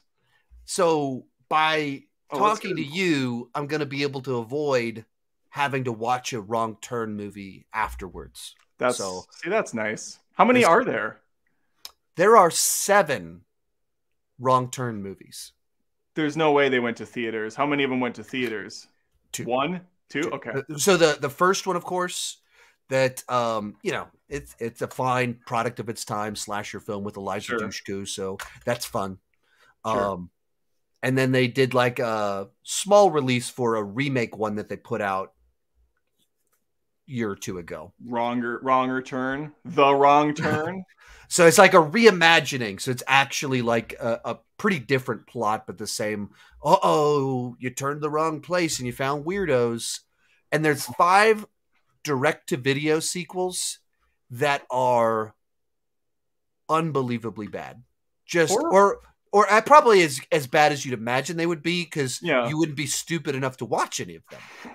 I've watched all of them. That's you're a glutton for punishment. Yeah. Yeah. I have a ranking idea for you, actually, Sean. Yeah. Okay. Gotcha. Gotcha. I think you'll. I seriously think it's a good one. I don't know if you've done it before, but you should do a ranking on the top worst movie franchise. Uh, I don't even know how to title this. You're, you're the good one at this, but basically the worst naming conventions in trilogies. So you'd have like the Mhm. Fast and the Furious, Fast, Too Fast, Too Furious. Uh, you'd have Halloween, followed by Halloween, which is actually Halloween 2, which is a sequel to Halloween, but not the other sequel to Halloween. You know, you have the Predator, Predators, Predator, uh, th- I mean, the world is really your oyster with this, and I think you could, I think you could have fun with it. So the I, that feels like that would be a tier ranking of the bad oh, names. sure, So- yeah, a tier so- ranking would be good. So then you say of franchises with the worst Naming conventions, yeah, yeah, yeah, like tier ranking, franchise, best and yes. worst. John names. Wick, I would put um, somewhere in the middle because they're just that's a shit show too. Because you have John Wick, John Wick Chapter Two, then for some reason John Wick Arabellum, Parabellum, one of those one are those highly relatable words that normal people like. Parabellum, right? Parabellum. It's like my favorite word, Parabellum. Very useful word for me. And then they just went back to John Wick Chapter Four because they're like, well, where do we go from Parabellum? Yeah. No, no word can top it. we we peaked with Parabellum. we peaked at Parabellum. Yeah, Fast and the Furious obviously S tier because of mm. just the, the brilliance of that naming structure.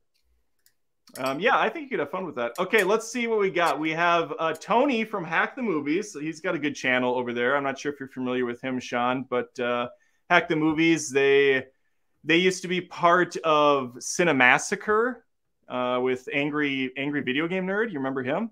Mm-hmm. Angry Video Game Nerd. He was the thing. Yeah. So Tony worked on Cinemassacre and then he branched off and did Hack the Movies. I've been on there several times. I love the Adam Does Movies live show! Exclamation mark for two dollars. Yeah, because that's how he started. Sean was here. You know, he's kind of a he's kind of a big deal in the space. So I was a little cons- I was a little scared, a little timid. You know, didn't know how to talk for a while. You know, when uh, Cody's been on twice, and I call him Corey constantly because I used to have, I used to actually do this show with a coworker back in the day for many years. His name was Corey, so it's just like this awful Freudian slip. Hack the Movies is back again, promoting his channel brilliantly with the $5 super chat. I always say our child's name will be Adam Does Movies, and Wow. girls always go, This is our first date. Who is Adam? okay. That was a nice walk. Uh, thanks, Tony. Make sure to go subscribe to Tony at Hack the Movies. Nada for 199. Thoughts on Ryan Gosling, rumored to play Bat? Man, what? Baby Goose is rumored to play Batman. In what? Yeah. Batman Brave and the Bold. Oh, really? The well, so first off, I, I think this is one of those just you Yeah, know, we've got this something. covered. Uh, like one of those websites that A website makes it up, and then seven other websites report on the made up thing. And like, well, look at all these websites Yeah, reporting yeah. on it.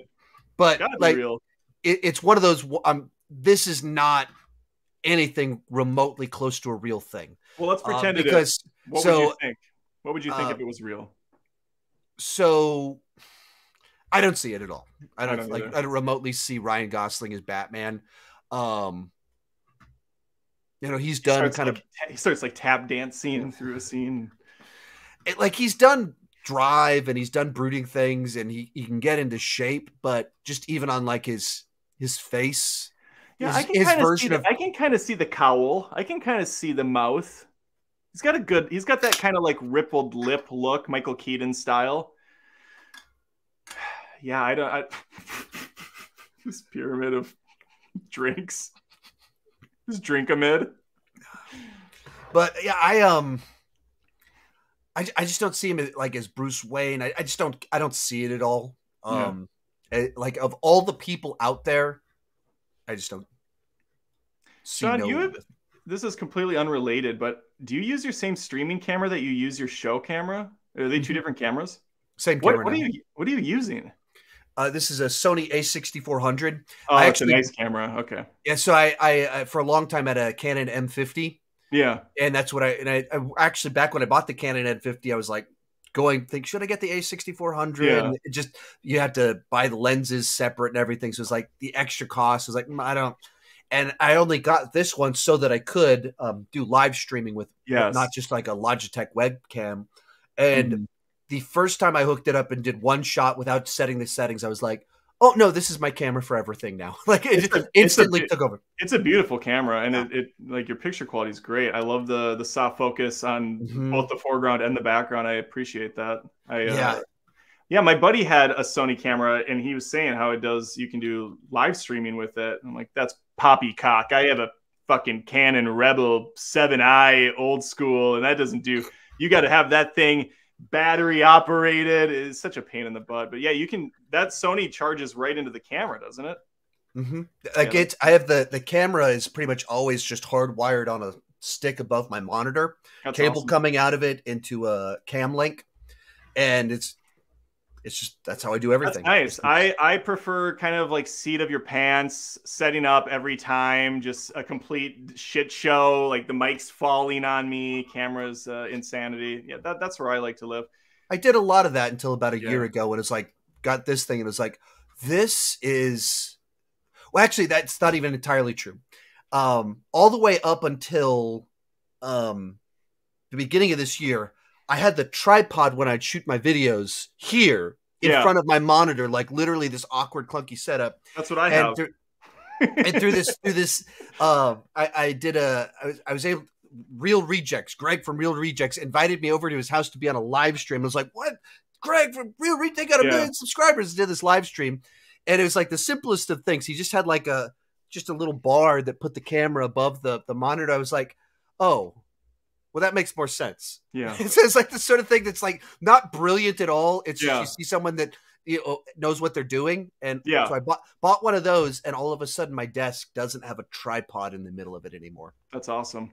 Yeah. You'll have to share that link with me because I'm doing this the tripod thing instead of ha- I have like duct taped lights on the walls and no, not that bad, but it's it's it's it's it's embarrassing. So whenever I stumbled on this setup, like I just have this one key light right here, mm-hmm. and then this camera that actually has good color pickup with vibrant yeah. colors, and it doesn't get washed out by me shooting lights behind it to give me backlighting.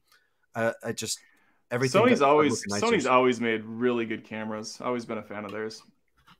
Anyway, um, Nada, yeah, thank you, Nada, for the super chat. Sorry, we don't have more exciting news to offer as far as Baby Goose as Batman. I don't. I, I've been like, there's been too many times where they make a casting choice. I'm like, oh, that's stunt casting. Colin Farrell is the Penguin. Like, I keep it to myself because almost every time it works out, and it's actually yeah. a really good decision. So I actually, I, I, I give it up to the, uh, except for I take that back. Tom Holland as Nathan Drake was a terrible choice. Yeah, but for the most part, but that, that yeah, that that was one that they just clearly they didn't. It's Sony. In-house Sony. Sony has Spider Man. Spider Man is Tom Holland. That's all they know. And, and they're, they're, everything leads back to Spider Man with us. And even the, the, weirder part is it goes back like ten years that they've had it, been trying to do this Uncharted movie, and ten years ago, it was, Wahlberg was going to yeah, be Drake, and then they went, mm, "We don't want to lose you, so why don't we also miscast you as Sully?" I never liked him as Drake either, but yeah, it would have been better than freaking. Tom right, it would have made more sense than yeah. him as Sully. Uh, both of those are miscast, but yeah, weird. Yeah. Okay. Jan Rose with two dollars says Gal Gadot is Wonder Woman. That's right. Well, she was. I don't know if she is anymore, but I get what you put down, Jan. Thank you seems like they don't know either with the contradictory rumors. I just Gal Gadot, Gal Gadot's turning into Dwayne Johnson, where they have this, um, yeah. you know, they're like, if I say it, maybe it'll actually happen. Dwayne Johnson's like, no, no, Black Adam's doing great. It's the number one movie in America. We're gonna have a bunch of them. He's fired the next day. Uh, what do we got here? Jane Rose back. Uh, I always say Jane. Jan Rose back again. Five dollars super chat. Thank you. Justice League is one of the worst superhero movies I've ever seen, and what a shame too, because I loved Justice League growing up. She's being vague. I don't know if she's talking about the Snyder cut or the Joss Whedon one. I'm gonna assume she means the Snyder cut. No, no. Sounds accurate. Shadow Humor with five dollars. Thank you, Shadow Humor. Blade is still my favorite superhero movie. Hell yes. Hey, uh, Sean, I'm sure you've ranked them, but quickly, Blade, where where do you stand? What's your favorite? Trinity, I assume. Uh, so I, I think Trinity is a very fun, terrible movie. It's, it it's and it's and it's and especially once you watch the interviews with Patton Oswalt talking about his time making the movie. And Wait, uh, he's in that. Oh man, you haven't watched it. I, have seen Blade Trinity when it went to theaters, and I never looked back. But. I don't remember him in there. Yeah, he's uh one of the Night Stalkers. That's oh. like he's like the guy in the chair. Okay, I know like, Parker Posey's in there, and yeah. uh, there's mm-hmm. like dogs with mouths that open, yeah. like those Reavers. Which I was mm-hmm. done at that point. I'm like, this is This Yeah. is terrible. So, um, but yeah, Patton Oswalt is in it, and there's some interviews of him talking about it. The guy's like, "So you're in Blade? Uh, is that exciting?" He's like, "No, no, no, no. I wish I was in Blade. Blade's awesome. I'm in Blade Trinity." He's doing this before the movie comes out. no, no, this is Oh, oh, okay. I was gonna say, oh my god, this after the movie came out, and he goes, awesome. Man, that movie was a disaster. And I'm friends with the director. He'll agree with you. Everything was a disaster. Wesley Snipes went crazy. And he was in his his his trailer smoking weed all the time. And he would demanded people call him Blade. And he wouldn't talk to the director. He would just write cards to, to, to communicate with the director. Which is funny because he only had like forty some lines of dialogue in the movie, so you'd think But- he'd want to talk more when he wasn't filming. But but so, that's because he wouldn't show up. He was supposed to have more dialogue, So but he wouldn't show up, and so a lot of the, his stunt double shot half of his stuff, and they did wide shots. This- the, the last shot in the movie is him laying on a on a on a bed, and he refused to open his eyes, and so they CGI'd eyes opening onto him. No, what? You can look this up.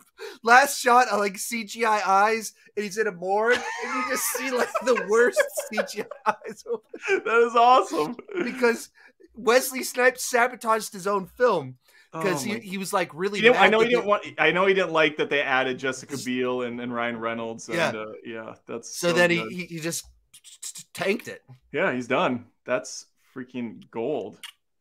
Well, that movie sucked either way, but yeah, that's that's a shame. Anyway, But Blade One and Two are pretty well tied for me.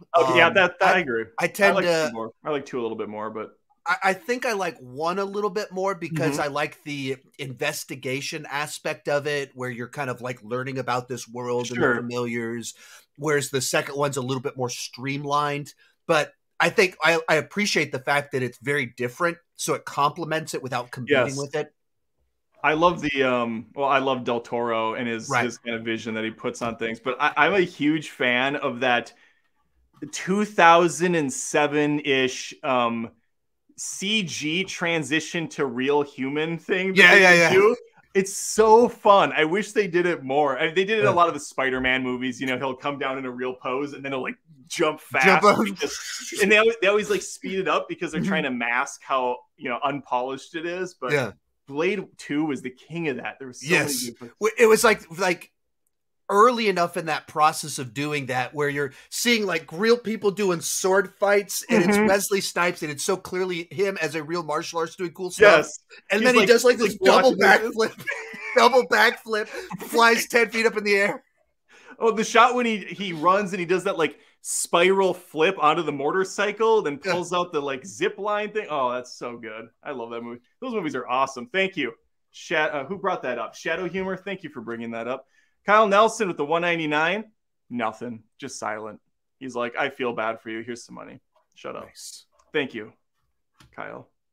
Oh, but then he's back. Now he has something to say. here we With the go. 499 super the first one was a test, and now he's ready. The next Friday the 13th is in October. That makes sense. What is your fa- uh, that makes more sense than releasing Haunted Mansion in August. What is your favorite Friday the 13th? Is- I, I, that's for either of us to go. I'm I'm not Uh, gonna lie to you. I haven't seen many of them in a long time, and the first one I watched a few years back on Rocktober with my family, and it really has aged pretty poorly for me. The the original Friday the thirteenth. The original Friday the 13th. Yeah, it, it's it's absolutely not a classic. no, Um, it like it's overtly a Halloween. They were the writer was told go watch Halloween and find a cheap way to do that. Like just do Yeah. that cheap. I I um, just wasn't into it. I think uh, uh, six is the one where they realized this is stupid, and so it's self aware, Okay, and so it delivers all the kills and what that you want, but it like has some humor and self and on its own joke. Uh, and then I, I like some people hate it, but the the remake, um, Yeah, it's not like this is a great film, but none of the none of the movies in this franchise are of like, don't they turn him into like a pedophile in the remake? That was the one thing I think people. no, no, no, that, that was uh, Nightmare on Elm Street. Oh, I'm sorry. Nightmare on get- I get- Elm Street was like, oh, Oh yeah, they, they yeah, that's right. That's what it was. so Friday the Thirteenth. It's um, you know, it it adds some you know, Mike because it's Platinum Dune, some goofy teenage humor Mhm. into it, and they're they're smoking dope the whole time. But like it, it just has a better aesthetic to it, mod twenty first century production value, and get people getting chopped up, and then yeah. And that's number six. Well, there you go. No, Kyle. no, there's no, no. So Oh. six is back in the '80s. The remake is from 2009. So those are the two that I I had normally was the top. I think. Gotcha. Well, there you go. Two two for the price of fun. Yeah. yeah, yeah. Watermelon. What is it? Barnacle. Watermelon barnacle, four ninety nine. Thank you. And then, of course, appropriately, a watermelon barnacle photo. I guess I've been watching Adam since 2015, and Sean since 2019. This collab was been well awaited. That's verbatim. I I assume he meant was well awaited. Thank you very much. I, I hope that it didn't disappoint. Yeah. Well, and we've been going for three hours, so if there's an- something yeah. something we've missed. Let us know that we can do our our little show for you guys in the. Now that it's after midnight and I'm tired and uh my inhibitions gone, I can do something. What some whatever I would normally not say or do. I can I can just let loose now. The Yeah. halo is off. Yeah. So, hey, let's um let's debate turning red real quick. Oh Let's- god. that was your worst take ever. Turning red. That was- it's, it's like I didn't connect to the I'm little girls in the film. Shut up, John. I'm gonna get off Twitter for the next two weeks. What have I done? God. Uh, Kyle Nelson's back, baby. Four ninety nine. I double dog dare you to tell us which 80s movie is as gay as a fanny pack. What? Anything with John Travolta, I would assume. trying to think, like uh, Saturday Night Fever. What year was that? That's seventies. That's disco. Oh, that's, that's it's like seventy eight, I think. They did a sequel though. That Yeah? Stallone wrote and directed called Staying Alive. Staying Alive. Yeah, Yeah. Staying Alive. Well, there, that's probably it. That's probably Uh, the one. Uh, yeah, Top Gun with that volleyball scene, and it's- you know, I had never seen Top Gun until I mean, I saw it when I was how? like a kid. I, I Oh. saw it when I was a kid with my Okay. dad, so I don't count that because I don't remember shit from it. And so I watched it before Maverick came out. I loved Maverick, by the way, but Top Gun, I, I just and I'd seen Hot Shots probably 500 times, so I was Yeah. familiar enough with it based on that.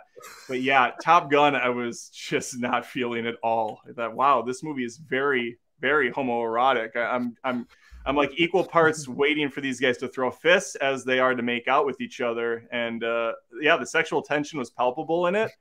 They should have just gone all in on it, honestly, because that was that was some funny stuff.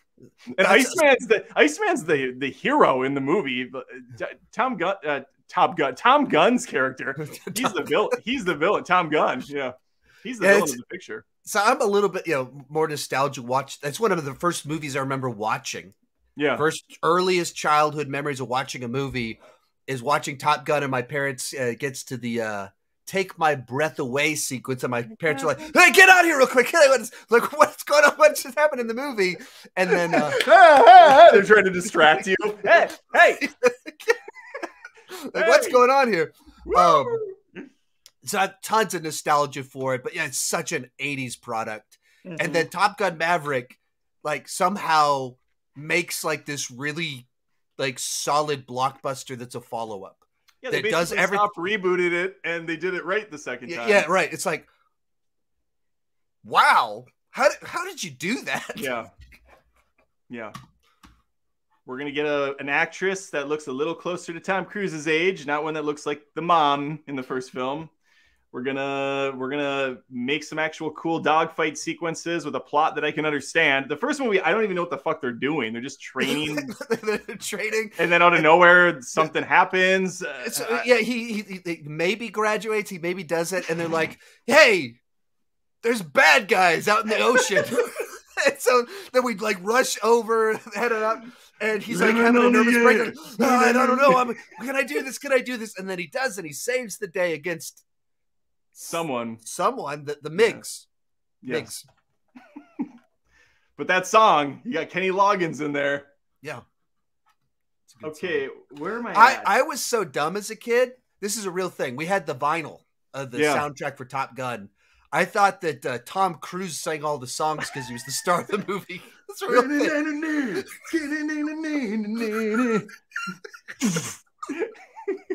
And I guess I thought the lady saying "Take my breath away" is like, okay, she's the Oh, lead that singer would of be- Berlin, of course. Be. That's how the that's how things work. That I mean, sometimes it is how they work. Depends on you know Grease. Yeah, there you go. You know what I love? I, I actually watched Grease with my family recently. I hadn't seen it in a long time. I was never as high on Grease as some of the other members of my uh like my brother and stuff. But we went on a cruise and they had a Grease like Broadway thing and it was fantastic and the kids loved it. But uh what is it? Zuko or whatever, Johnny Zuko, fuck his character name is. I was just like this, this is no Travolta. Kids, you can't like him. You don't know. You don't know what you're missing. This is no Travolta. And so we came home and watched it. And yeah, Grease is awesome. That movie holds up really well. I liked it a lot. How'd you like that walk? Okay, Kyle Nelson for a 199 super chat. Do you like the 1997 Steel movie with Shaq? Well, who doesn't? It's a it's a timeless classic. It's right up there with uh, what Kazam or Shazam, whatever his other. What what is the genie one? Kazam. Yeah. Yeah. Yeah. It's no There's- Shaq is Shaq is terrible. It's so bad. Yeah. Um. So I watched it for the first time. Um. Why? Well, I guess so when the Suicide Squad, because I'm the ranking guy, Oh, so I try to do my epic rankings. So the hell, wait, when what were you? I'm sorry. What were you ranking that had Shaq? all because Steel is a DC property, so it's all DC movies.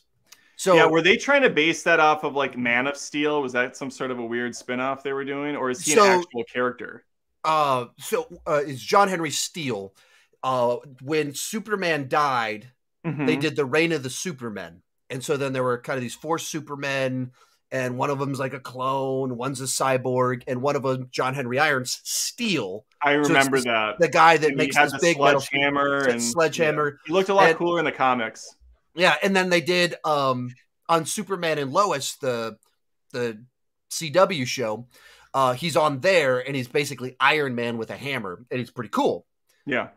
Shaq, however, probably not the right guy to to star. as, Remember uh, the video game Shaq Fu? Oh, I remember. I remember. Uh, I watched Yeah. the Hot Ones with Shaq because there's a meme of him making funny faces, and my well, my kids are like the kids they Yeah. love memes. So then we watched it, and then we were like, let's do the history of Shaq. Here's Shaq Fu, and we yeah we went through the whole history of his his It's rap a- career, his video a- games, all of it. It's very amazing kind of life that he's lived, and a Yeah. lot of really everything he puts his name on is kind of a seal of perfection. Yeah. Yeah. He's he's gonna run for um like the sheriff of a city. He's planning on doing that in 2024. Does he own the city that he's running for? He's like a 'Cause that would be hilarious. volunteer officer or something like that in the city, and he wants to run for office, but he was too busy back four or five years ago to do it in 2020. So he's like, that's a thing. He's like this guy that, yeah, he's you know basketball player, rapper, video game, uh, sports Mm-hmm. Commentator, entrepreneur. Uh, he sells like um, human growth hormone Oh, supplements or something like that. He shows up in my feed all the time, like, here, I take this and I got great hor- growth hormone levels. because you And now- you Google all this Shaq shit, so now he's like he's like in your purview constantly. just trying to figure out how you go down these rabbit holes of stuff. Like, what? How did I start getting that many Shaq ads of him with his shirt off, like popping does pills? not compute, does not compute. They start throwing you George Foreman grill stuff, and they, they don't even know how to make you out anymore. Yeah. Well, um, yeah, that's that's amazing. Okay, Master Sergeant with a five dollar super chat. Sup. One number one, Snyder trilogy. Number two, Wonder Woman. Number three, Gunn's the Suicide Squad. The rest are one-offs and tied at 13. yeah, Ma- uh, Master Sergeant actually he he's a Patreon that's having me do the roast of I believe Justice League, and that is a beautiful script that I put together. Uh, it, it took me an hour and a half to record it. The editing is going to be very fun on that. I look forward to that. I'm glad I have a full time job and decided that roasting movies is, is what I should be doing with my free time. Okay, uh, thank you, Master Sergeant. One final super chat, Kyle Nelson again. Shout out of a cannon. Why are critics so sensitive about CGI? So I, I think I don't know. If it's the critics so much as the internet, and I think it's the. I would guess that it's probably the under thirty crowd that have been raised on, like, modern day TV shows. Yeah. Uh, you like you have like Secret Invasion, six episodes, two hundred million dollar budget. And so you, you kind of get raised so much on just expecting CGI to be crazy good. Um, and I think some like there's no excuse mm-hmm. for a mm-hmm. movie with a budget of two hundred million dollars to have a the CGI that's that bad. And I yeah. think some of it is also um, when you just it feels like it's getting worse, and it should oh, it, be. Like, it is absolutely getting worse. Uh, you look at even those early, the first Transformers movie. Oh, that's a classic example. Yeah, yeah. that's what it, I was about to say. Pirates of the Caribbean. I mean, Pirates of the Caribbean has freaking top tier CG. Mm-hmm. That Davy twenty Jones, years ago. Yeah, yeah. Davy Jones looks insane. Uh, and I think it's a lot. A lot of it has to do with obviously the overtaxing of these mm-hmm. studios. Uh, another thing is the over reliance on CG mm-hmm. now. They're pushing out what five times the content that they were yeah. doing, you know, because of all these streaming services that have all these deals. And there's only so many VFX shops out there right now. Mm-hmm. mm-hmm. Yeah, it, it, it just just because you have a ton of money mm-hmm. doesn't mean there's more VFX artists, and it doesn't mean there's right. more top tier VFX artists, and it doesn't mean that there's enough top tier directors that have that skill set of just knowing how to incorporate these two things and how to respect it. Like there's a well, and, thousand... and, it's supply and demand. So you know, Weta Studios isn't going to take the first job that falls in their lap at this point. They're going to take the best paying job that falls mm-hmm. in their lap. And and like you can criticize a thousand things about Michael Bay, and I have, mm-hmm. and you have but right. the guy also knows how to like shoot certain scenes. And so you watch him blowing up these buildings, and it looks like Shia LaBeouf is in a building that's collapsing and oh, being yeah. eaten by a gigantic robot. Yeah. like it's not realistic at all, but it looks grounded in our reality. And then you watch the Marvel movie where Scarlett Johansson is falling out of the sky and she's sword fighting, and it it does not look grounded in any sort of reality. And well, because yeah, because they've got again, Michael Bay knows how to shoot action. He was doing it before they even had the CG mm-hmm. to work with. And so, even in the cases where he knows he's going to have fake giant robots, he'll still put his actors yep. on a platform that's moving around. He'll still mm-hmm. add air to, you know, like blowing fans on them.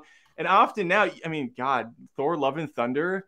There's scenes where not a single thing is real except for these actors. Yeah. And even they're not fully real. Their armor yeah. is fake. Their helmets are fake right their abs yeah. are fake it, it's just it's so far gone from giving you anything to connect to in a scene mm-hmm. that again that's where the stakes come in i don't i don't know what to connect to in this moment because everything is clearly half-assed thrown at me mm-hmm.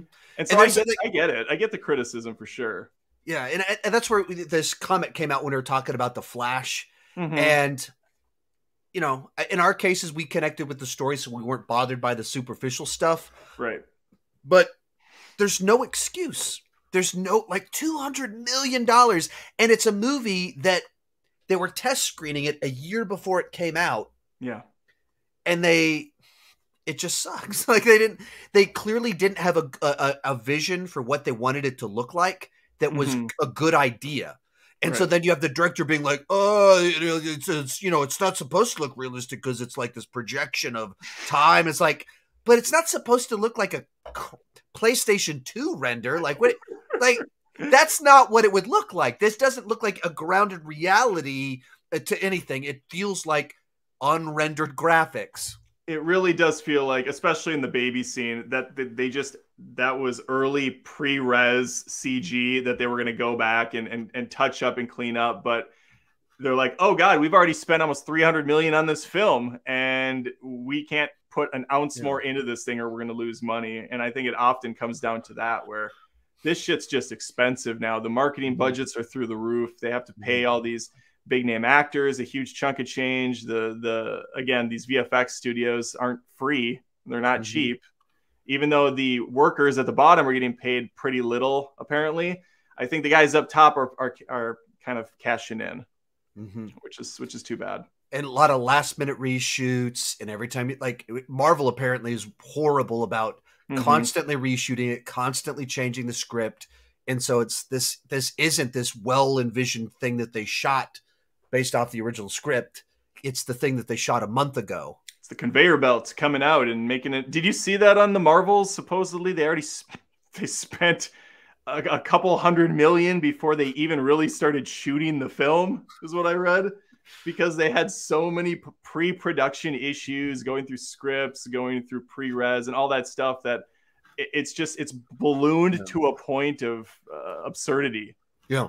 I, I don't. I couldn't even find actual numbers on it. They're for some reason kind of being coy about it. But if those reports are to Yeah. be true, Not for some reason, because it's bad. Like they're it's probably They're- bad. they're- yeah. they're in really bad shape where like an Indiana Jones movie costs Oh. three hundred million dollars. What are you Two doing? half hours long. like what, Again, what are you doing? What is why is why is any of this? And there's a why is I that? didn't this?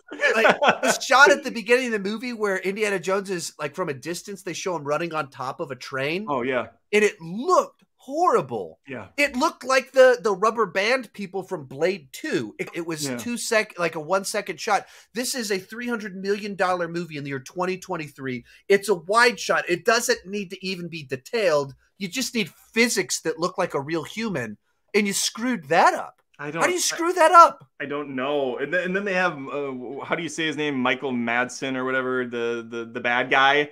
He gets like freaking decapitated in that same scene on the train, and then he shows up later. He's like a like tiny little nick on his face. It's like you got fucking wasted by that. You fell off the side of a train into a CG waterfall or whatever. Yeah, again, can't can't connect to anything. It's all so fake. But Yeah. the, the point Sean was saying, the Flash looks terrible, but it has enough connective tissue and a good script, Yeah. in our opinion, that you can go along with the ride. It's the same reason that people still like Richard Donner's Superman. If you're gonna come out and tell me that those effects hold up, you are lying. or the original Star Wars trilogy. Listen, they're they're still okay visually, but dear God, they are a far cry from what Hollywood can put out today. And that first lightsaber battle we're treated to Mhm. with Obi Wan and Darth Vader looks like two guys having a sword fight in a bathroom. It's like, uh, uh, uh, uh. he does a little twirl at one point. He's like, uh, how do you like me now? what are you doing? But uh, yeah, you, you let that shit go because the story's compelling, the characters are interesting, and you're Yeah. along for the ride. It's it's not complicated. People, Yeah. Yeah, it, it's got to be younger people, and they're Yeah. gonna they're gonna grill it, and then they're gonna grow up like us, and they're gonna be like, uh, you kids today don't understand what you know. But even to, to an example, you know, we're talking about Black Adam, and you're like, this is the most CGI city I've ever seen. Right, because that's all the movie had to offer. Right? You weren't like, oh man, the journey of Black Adam and Yeah, it the wasn't kid on the skateboard. And so you're you're it's the the movie is delivering spectacle and superficial entertainment. And if, so if you're only watching for that and you're like, uh, I'm watching a a city that's not real, Right. then that's And all you see. that that's that's like how it goes for a lot. I mean, again, back to Snyder, this the Snyder cut.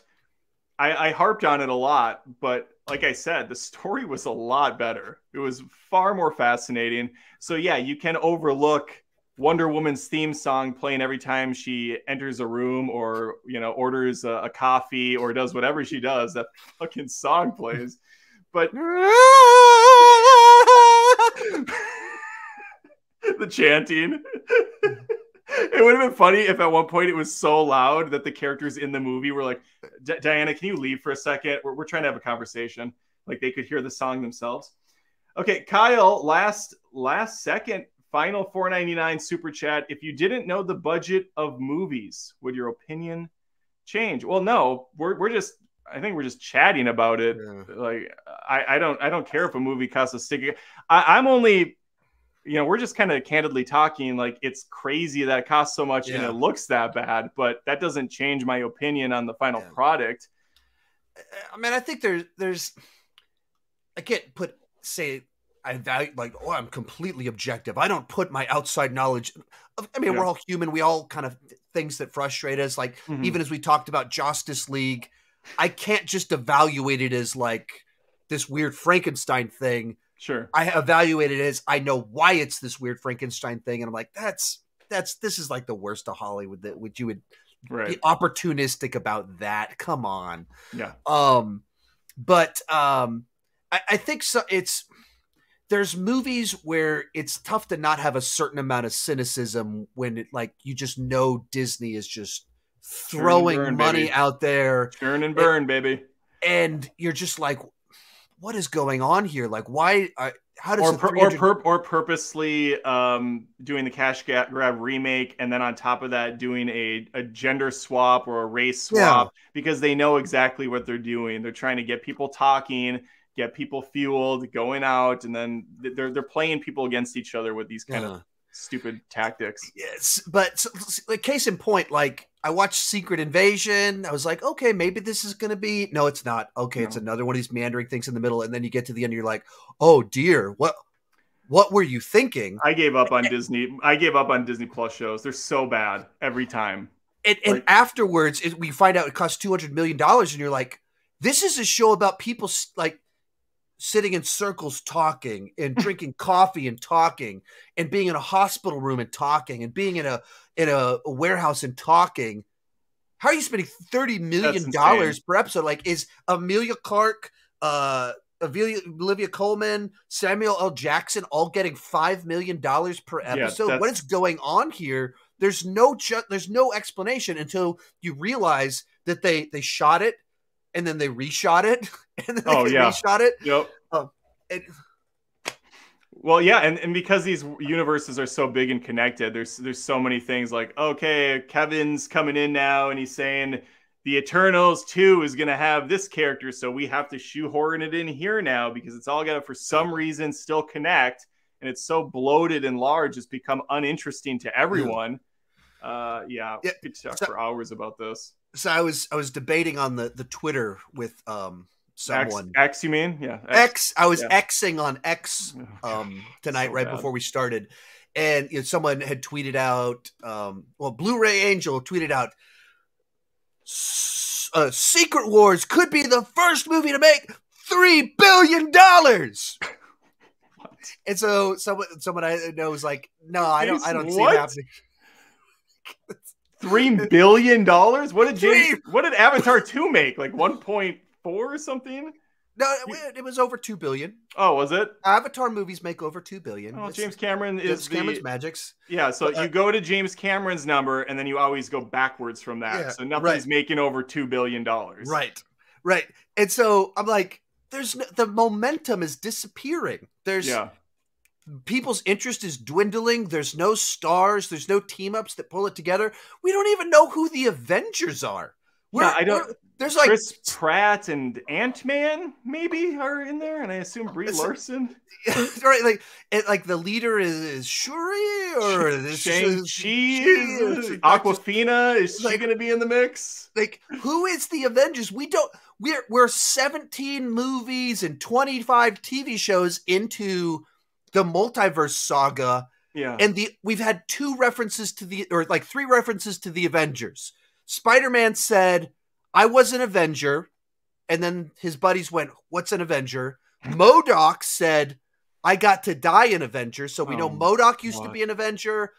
Spider-Man used to be Avenger, and then people in Secret Invasion were like, "Hey, why don't you just call the Avengers to stop this gigantic threat?" And he Mm. goes, "Because this is personal. I gotta solve this."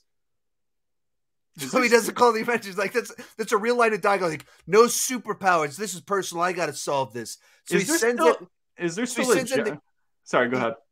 But so he says he's going to solve it himself. Then he sends in Emilia Clarke as him, so she can use her superpowers. So he doesn't even do the thing. It's a total rando character.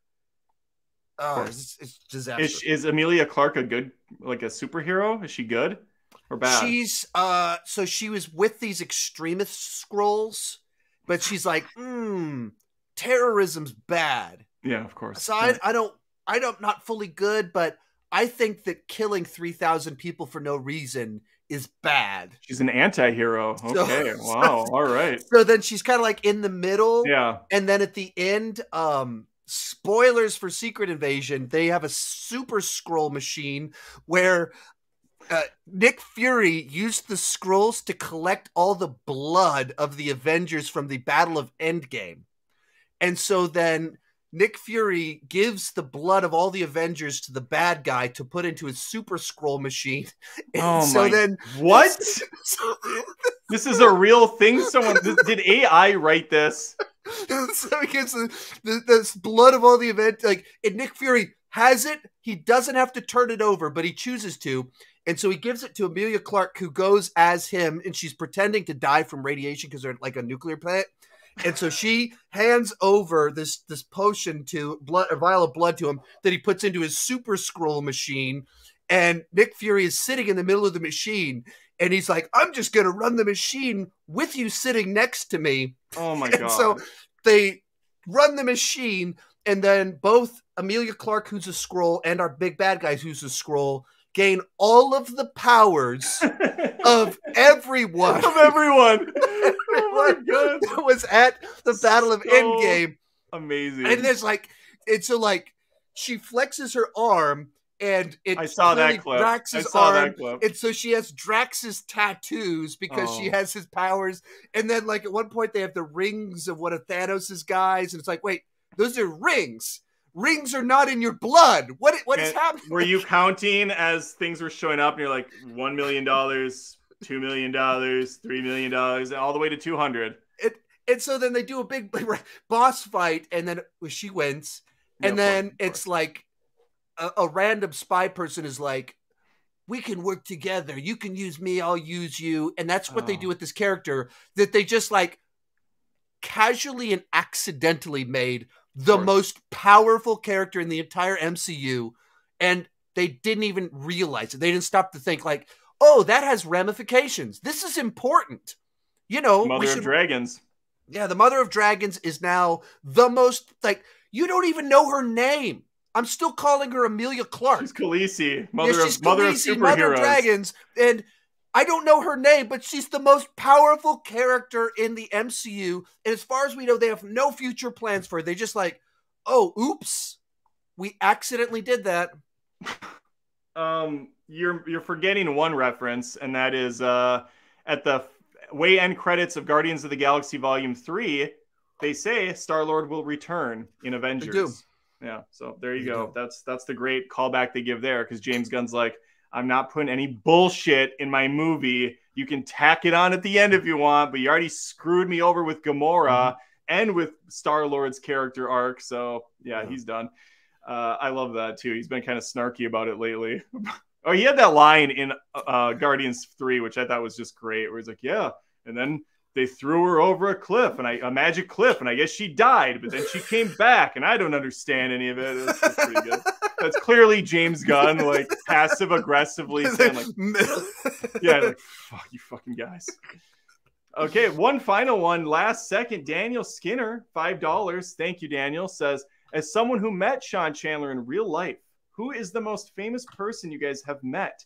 Mine is Hailee Steinfeld and Brie Larson. Wow, that's a nice that's a nice matchup right there. I would he, love he that. did that in San Antonio in July. And I almost would have met Daniel Skinner a second time in San Antonio, but it kind of fell at a, at a busy time, so I couldn't head on out to that Comic Con. Okay, But- Yeah. is that your who have you met, Sean? Anybody uh, famous? Oh, he's got a photo. My close personal friend of me with my buddy William Shatner, um, he just always has plexiglass between the two of us. What a weird guy. So we're holy crap, he's short. He's sitting down. Oh. I couldn't see. Was it two in the morning where you're at? Two in the morning. It's one Wow, he's a, he's a midget. Holy shit! How tall are you, Sean? Like ten feet? That's Uh, awesome. Well, that's cool. Right, al- right along with that, my other close personal friend, uh, uh, Sam Raimi and Oh, uh, awesome. Bruce Campbell, Very nice. they are standing up. They're so this sta- they're does show down as well. Yes. as clearly taller than them. Uh, so which which gives you dominance over them. Yes. Yes. that that was important to me. Very alpha status. You right there. walk in, walk into this photo op. You know, paid all this money to get my picture with them. Walk in. Sam Raimi walks up to me, goes, "Hi, my name's Sam." Oh my god! he literally introduced like, That's yeah, awesome. bro. I just paid. Hi, $100." friend. I'm Sam. You may And know me from such hit, hit films as Spider Man and Spider Man Two and And Evil Bruce, Ca- Dead. Bruce Campbell's like, ah, get these losers out of here. There it is. Yeah, It's like say. both of them played into their exact stereotypes of Sam Raimi being this nerdy, awkward, really nice guy, and Bruce Campbell being this really funny douchebag. That's awesome, man. Bruce Campbell. That'd be he'd be a blast to meet. I uh yeah. Uh, I haven't met anybody too exciting. I saw Michael. Ro- uh, how do you say his last name? Rooker. Roker. Yeah. Yeah. like that. yeah, one of them. I Michael would Rooker. like Michael Rooker. Okay, Flavin, Scrum.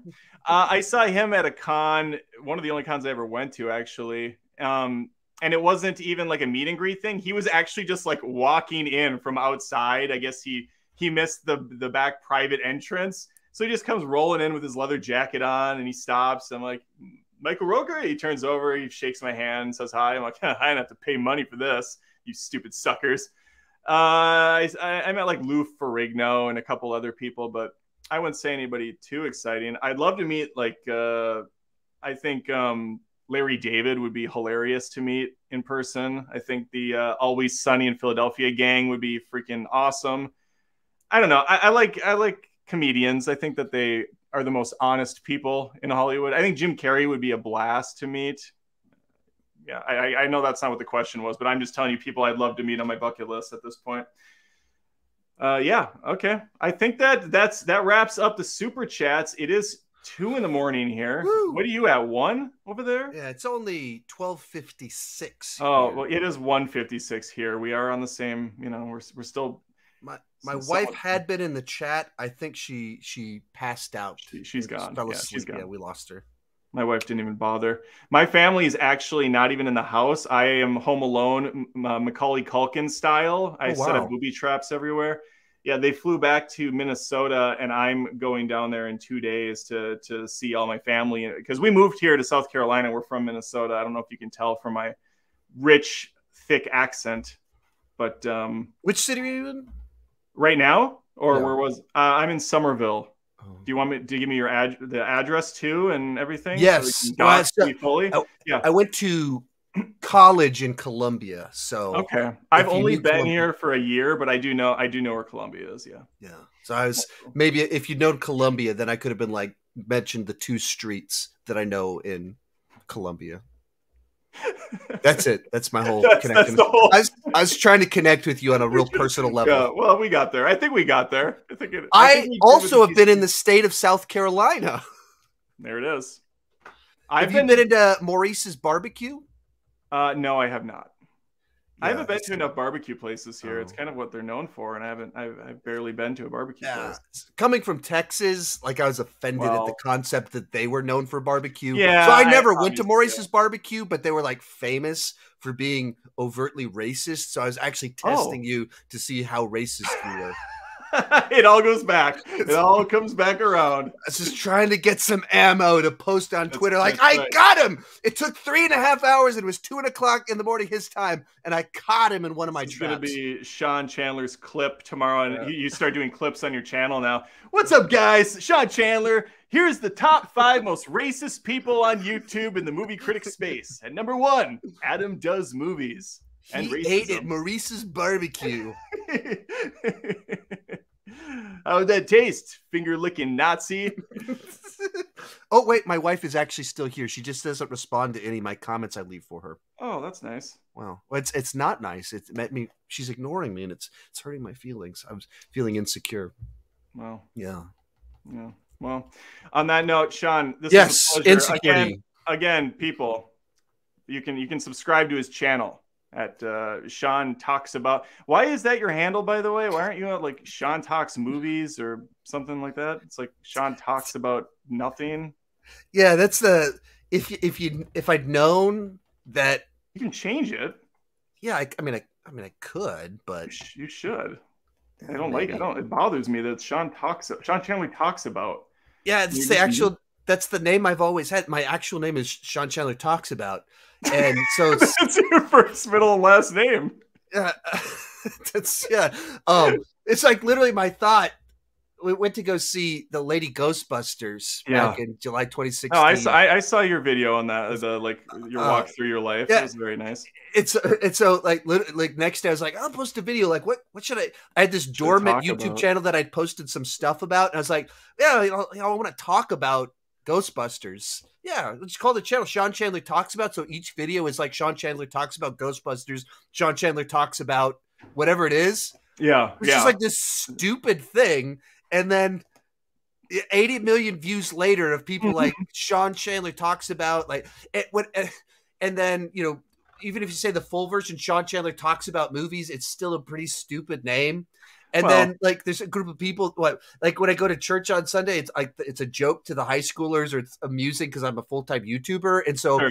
they anytime they see me they're like, look who it is! It's Sean Chandler talks about movies! And like oh, half the, the the high schoolers of the church or teenagers of the church just like put on this big thing. And they're like and they're even if they're close to me and they're not yelling they'll do the fake yell thing. We're like look who it is! They'll do that stuff. And uh, yeah then they they say the whole thing. It's never Sean Chandler. Sean Chandler like talks about. it's always, know. it's always Sean Chandler talks about But well, they you said movies. They put the movies Yes. on too because even they're like, "What are you doing?" this is stupid yeah, Yeah, like, what are you- what even they doing? know better than me Yeah, yeah. I mean, I've changed my channel name three times, and I guess we know who's got more subs and views. So the joke, I guess, comes Yeah. back to me at the end. Uh, yeah, subscribe to Sean Chandler. Sean, this was a long Uh, time. uh, subscribe to Oh. Sean Chandler talks about.